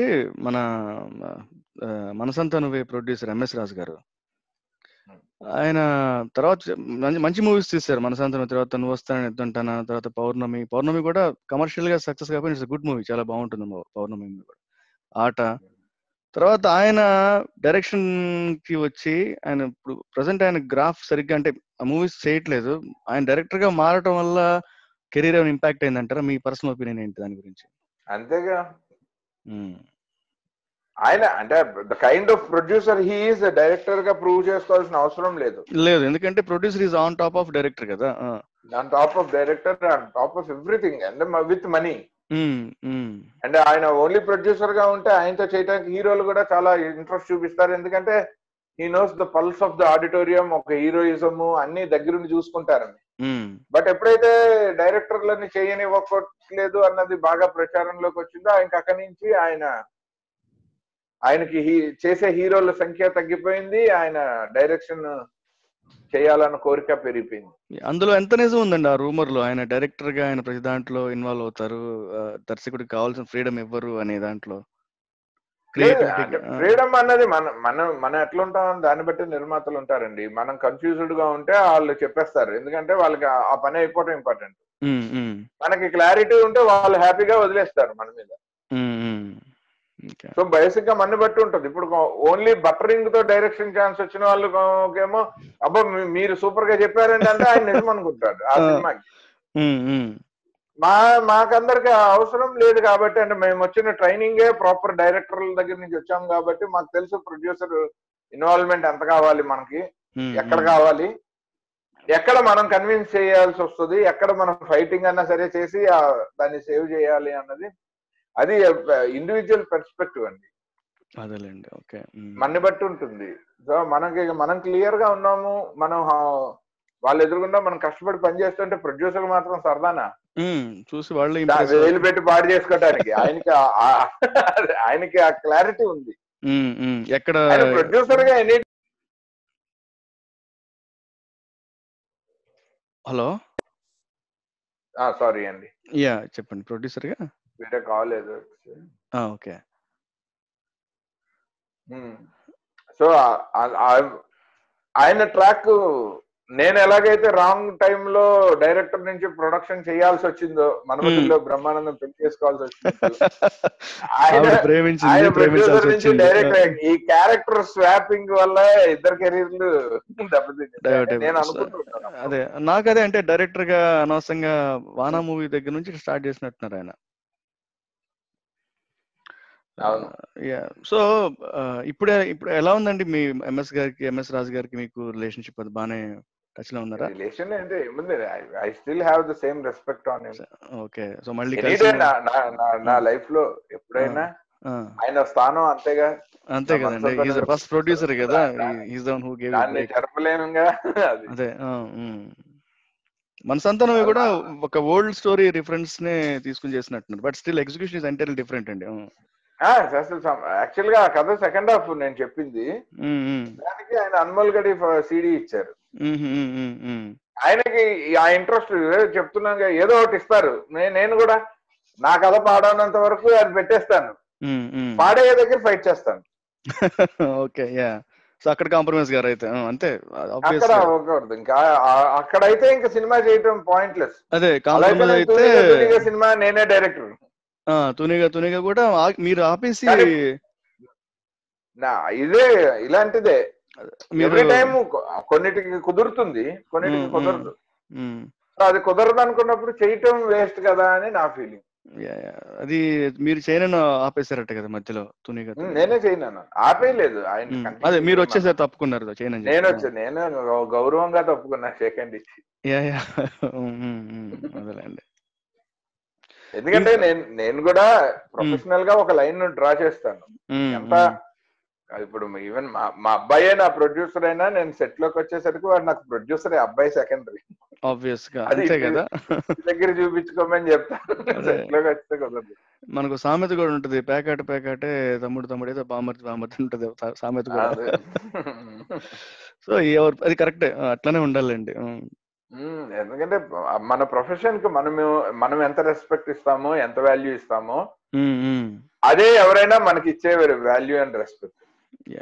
ఇప్పటికీ ఆదిత్య గారు ఈ కథ బాగుంది అన్నారంటే సినిమా తీయొచ్చు అని ఒక నలుగురు నిర్మాతలు అనుకుంటున్నారంటే అర్థం నేను ఆ విషయంలో అంత సిన్సియర్గా ఉండటమే కదా.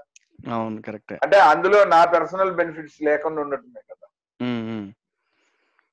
యూజువల్గా ఒక ఒక జస్ట్ క్యాజువల్ క్వశ్చన్ అండి.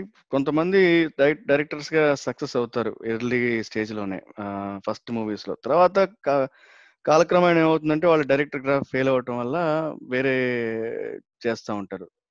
సో అలా చేయటం వల్ల కొన్ని ఈగో క్లాష్ అవి వస్తూ ఉంటాయి కదా. సో అవి ఎలా హ్యాండిల్ చేస్తూ ఉంటారు ఇండస్ట్రీలో మీకు ఏమన్నా అదే ఈ సార్ ఈగో అన్నది ఎప్పుడు అవసరార్థం మారుతుందండి. మనకు. అవసరం అనుకుంటే పైకి వస్తుంది మనకి అమ్మో కష్టం అనుకుంటే లోపలికి పోతుంది. మ్మ్. అన్నది మన పెర్మనెంట్ ఎవరికి ప్రపంచంలో అది పెర్మనెంట్ క్యారెక్టరైజేషన్ కాదు. అంత దుర్యోధనులు రావణాసురులు ఈ రోజుల్లో ఉంటే చచ్చిపోతారు రెండో రోజు. అదే క్యారెక్టర్ కింద స్టాంప్ పడి ఎవ్వడూ బతకలేడు.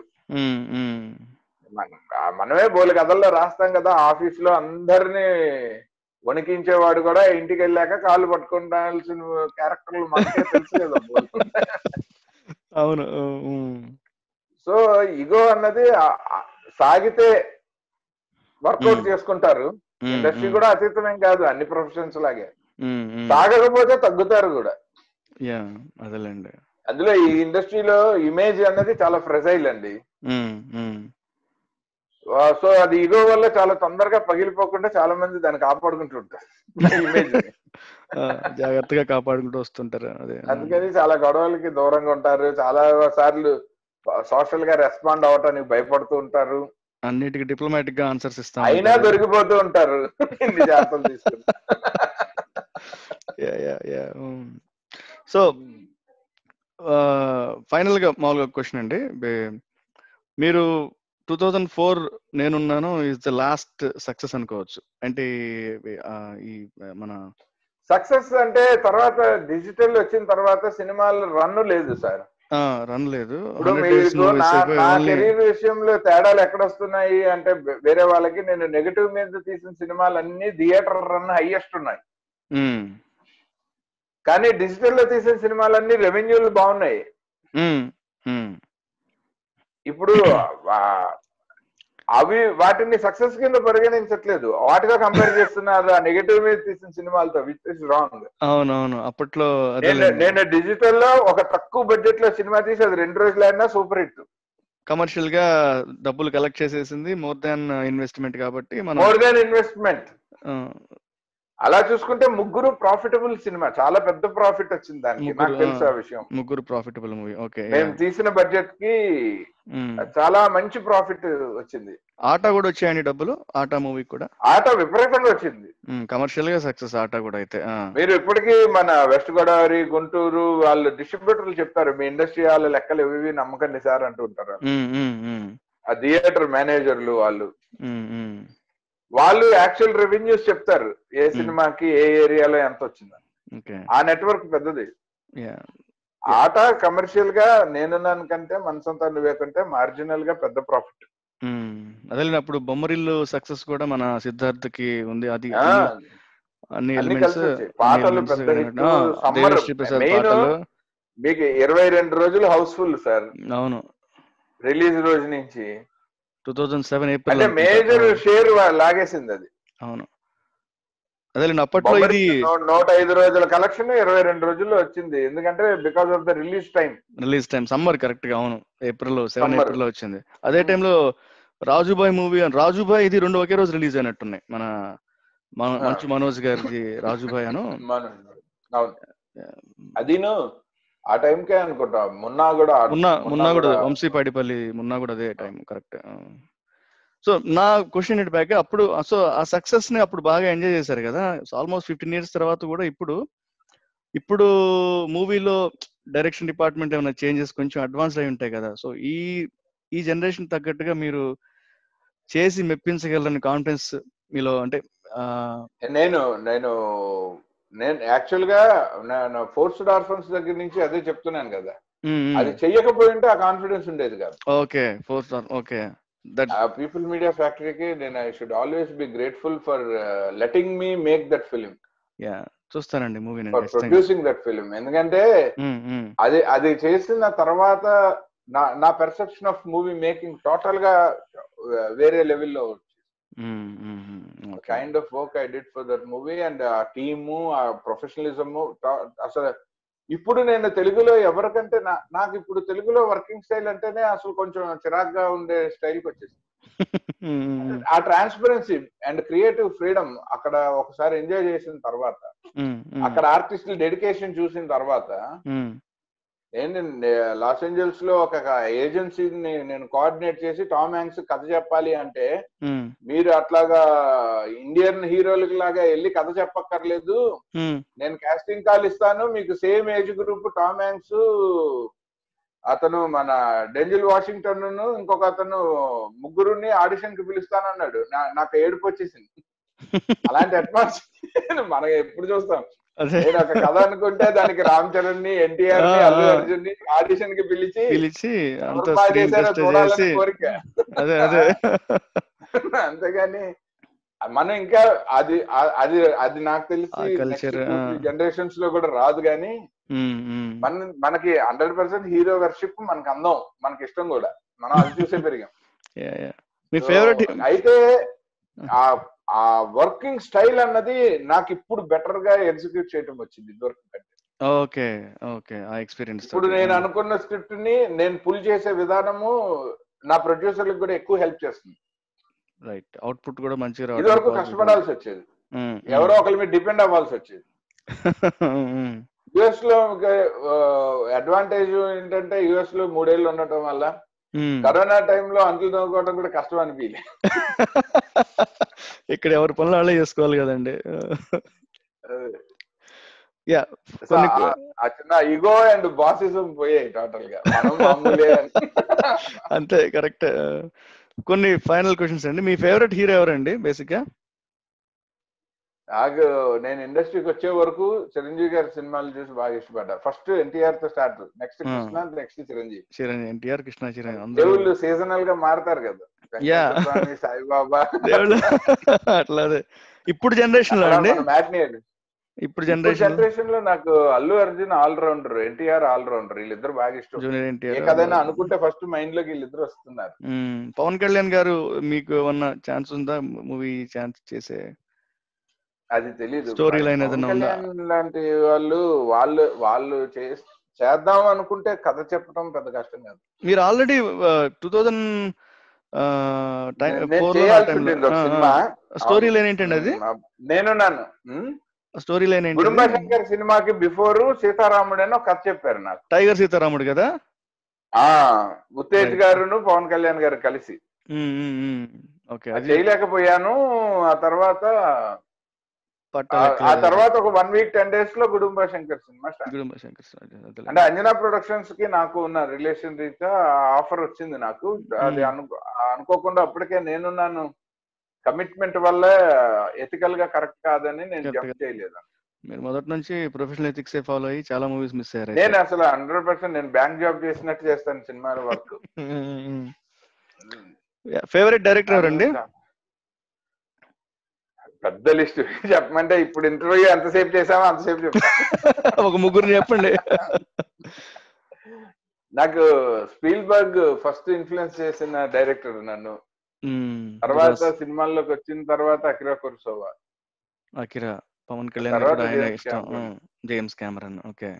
టైటానిక్ ఇంకా ఉన్నారు జాన్ వూ ఉన్నారు తర్వాత ఫ్రాన్సిస్ ఫోర్ట్ కొప్పలో ఉన్నారు. ఓకే. అంటే మన తెలుగు ఇండస్ట్రీలో అయితే అసలు. తెలుగు తెలుగులో సంగీతం గారు కృష్ణాథ్ గారు రాఘవేంద్ర గారు దాసరి గారు జంజాల్ గారు బాపు గారు మండరత్నం రామ్ గోపాల్ వర్మ. ఓ లిస్ట్ గోస్ ఆన్. ఓకే. ఇప్పుడు జనరేషన్ అండి? కే బాలచందర్ కే బాలచందర్. కే బాలచందర్ అదే. ఇప్పుడు జనరేషన్లో సుకుమార్ ఇష్టం బాగా. Sukumar okay yeah. Favourite music director అండి? కీరవాణి గారు. కీరవాణి గారు. ఆల్రౌండర్ ఆయన యా. ఓకే అండి. నా నైస్ టాకింగ్ టు యూ. చాలా డీటెయిల్డ్గా మంచి విషయాలని అయింది. యా పర్లేదు. ఫ్రైడే నైట్ కదా ఏం పర్వాలేదు. ఫ్రైడే నైట్ కాబట్టి దేశీ ప్లాజా మనోహర్ గారికి. మీకు. అండ్ ఈ దేశీ ప్లాజా చూసే ఉన్న ప్రేక్షకులందరికీ. మనస్ఫూర్తిగా నా ధన్యవాదాలు. అండ్ మీరు చేసే అన్ని పనులకి I sincerely wish everybody all the best. Hmm. And stay home stay safe. ఇప్పుడు. ఇంకా even even if you are not staying home please be safe. Lockdown ఎత్తేసారు కాబట్టి ఇంకా ఎక్కువ జాగ్రత్తగా ఉండాలి.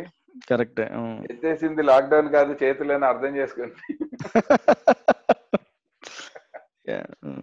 మేము కూడా అండి వాళ్ళిద్దరి మధ్య అప్డేట్స్ అన్ని చూడండి. అలాగే dollars Desi Plaza Star Kalakar ఒక అద్భుతమైన ప్రోగ్రామ్ అండ్. నేను ఒక ఏడాది ఆ ప్రోగ్రామ్ చాలా బాగా ఫాలో అయ్యాను యుఎస్లో ఉన్నాను నేను మ్మ్.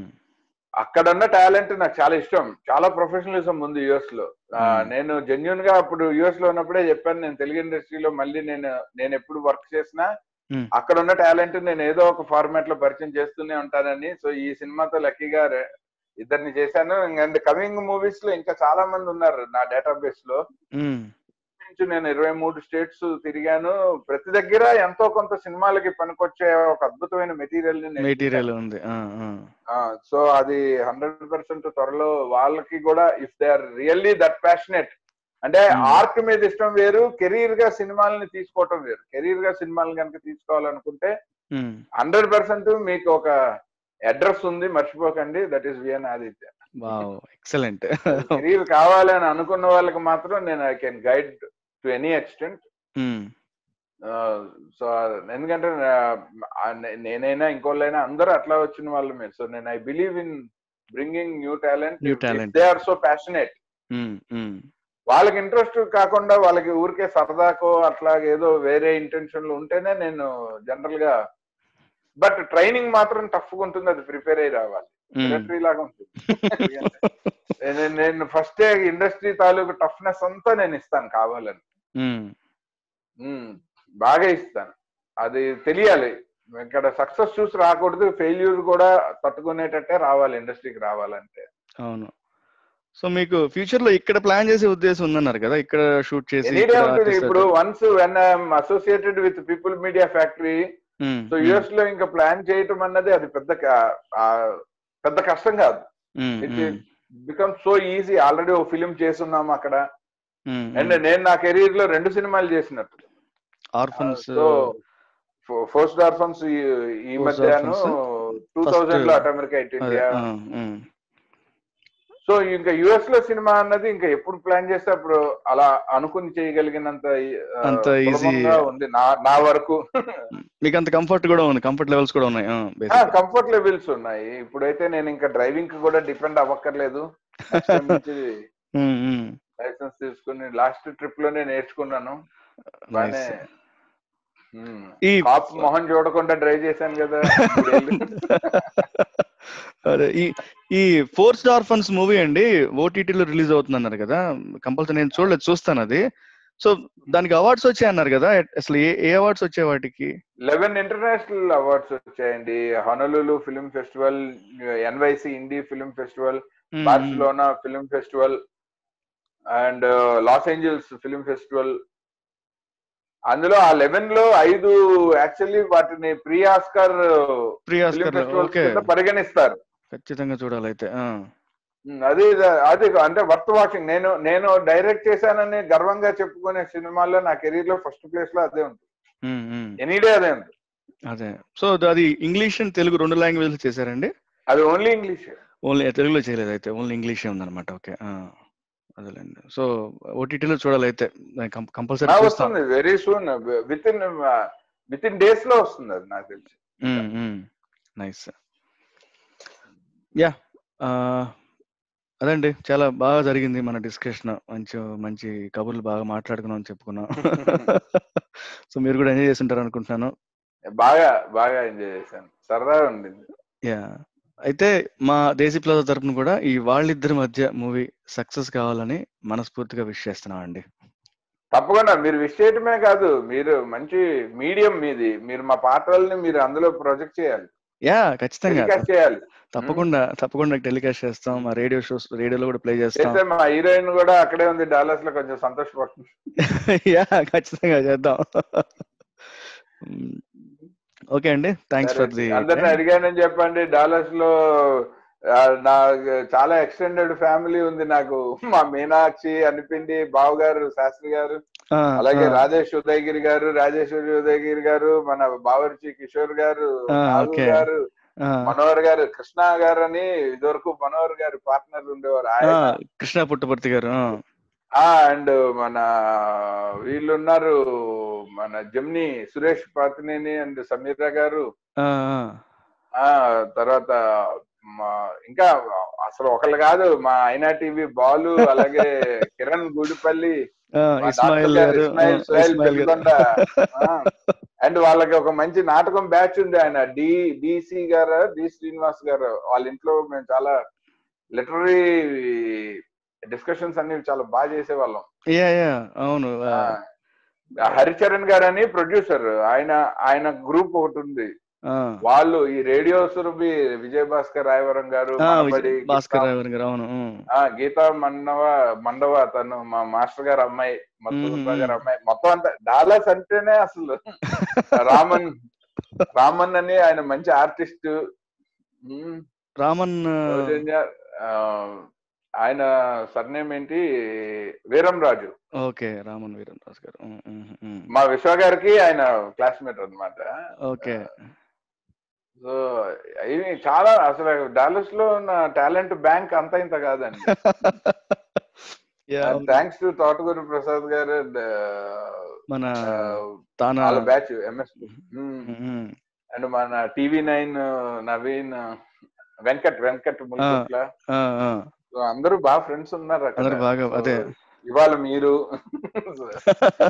టు నేను యాక్చువల్‌గా లిస్ట్. నా వాయిస్ రేడియోలో ఎక్కువ మస్తీ టైమ్ రేడియోలో వినిపించేది. ఒక 2 ఇయర్స్. ఇట్లా బయటికి నా ఫేస్ కూడా కనిపిస్తుంది. యాక్చువల్లీ చాలా పెద్ద ఇంటర్వ్యూ చేశారు. నేను యూఎస్ వచ్చిన ఫస్ట్ ఇంటర్వ్యూ వీడియో ఇంటర్వ్యూ ఆవిడే చేశారు. దేశీ ఆహ్, పద్మశ్రీ తోట గారు. పద్మశ్రీతో అవును చేసేవాళ్ళు కరెక్టే. ఆవిడ చేసేవాళ్ళు. అక్కడ ఆవిడని డాలస్ ఉదయభాను అని పిలిచేవాడిని నేను. ఓకే. ఓకే. యాక్టివ్ ఆవిడ. యాహ్! హ్మ్. ఈ ఇప్పుడు ఇప్పుడు రేడియో సురభితోని బాగా అసోసియేషన్ ఉంది. వాళ్ళు డ్రామాలు సర్సిజ థియేటర్ అని. అవునవును. లాస్ట్ ఇయర్ కూడా లాస్ట్ ద లాస్ట్! ఇయర్ చూసాను నేనొకటి. ఆహ్, సందీప్. సింగర్ ఆయన. గుడ్. అవునవును. మిస్సమ్మ, ద్రౌపది అన్నీ బాగున్నాయి. అనగనగా ఒక రాకుమారి. అనగనగా ఒక రాకుమారి చూసాను. చేస్తున్నారు. అవునవును. కరెక్టే. సో తెలుగు వాళ్ళు ఎవరు ఏ పని చేసినా అందరూ అదే సహృదయంతో ఆదరించండి. అదే మనకి మంచిది. తప్పకుండా. తప్పకుండా అండి. అందరి పనుల్లోనూ అందరూ సాయం చేసుకొని. Okay sir. Thank you. Thank you so much. So, అదండి విఎన్నాదిత్య గారితో ఇంటర్వ్యూ. ఆయన గురించి, ఆయన మూవీస్ గురించి, ఆయన మాటల్లోనే చాలా విషయాలు తెలుసుకున్నాం. అలాగే ఆయన దర్శకత్వం వహించి విడుదలకి సిద్ధంగా ఉన్న వాళ్ళిద్దరి మధ్య చిత్రం కూడా సక్సెస్ అవ్వాలని కోరుకుందాం. సో, నేనైతే ఇంటర్వ్యూ చాలా బాగా ఎంజాయ్ చేశానండి. చాలా విషయాలు తెలుసుకున్నాను. అలాగే మీరు కూడా ఎంజాయ్ చేసుంటారు అని అనుకుంటున్నాను. సో, నెక్స్ట్ టైం ఇంకొక గెస్ట్‌తో మళ్ళీ కలుద్దాం. అప్పటి వరకు సెలవు. బాయ్.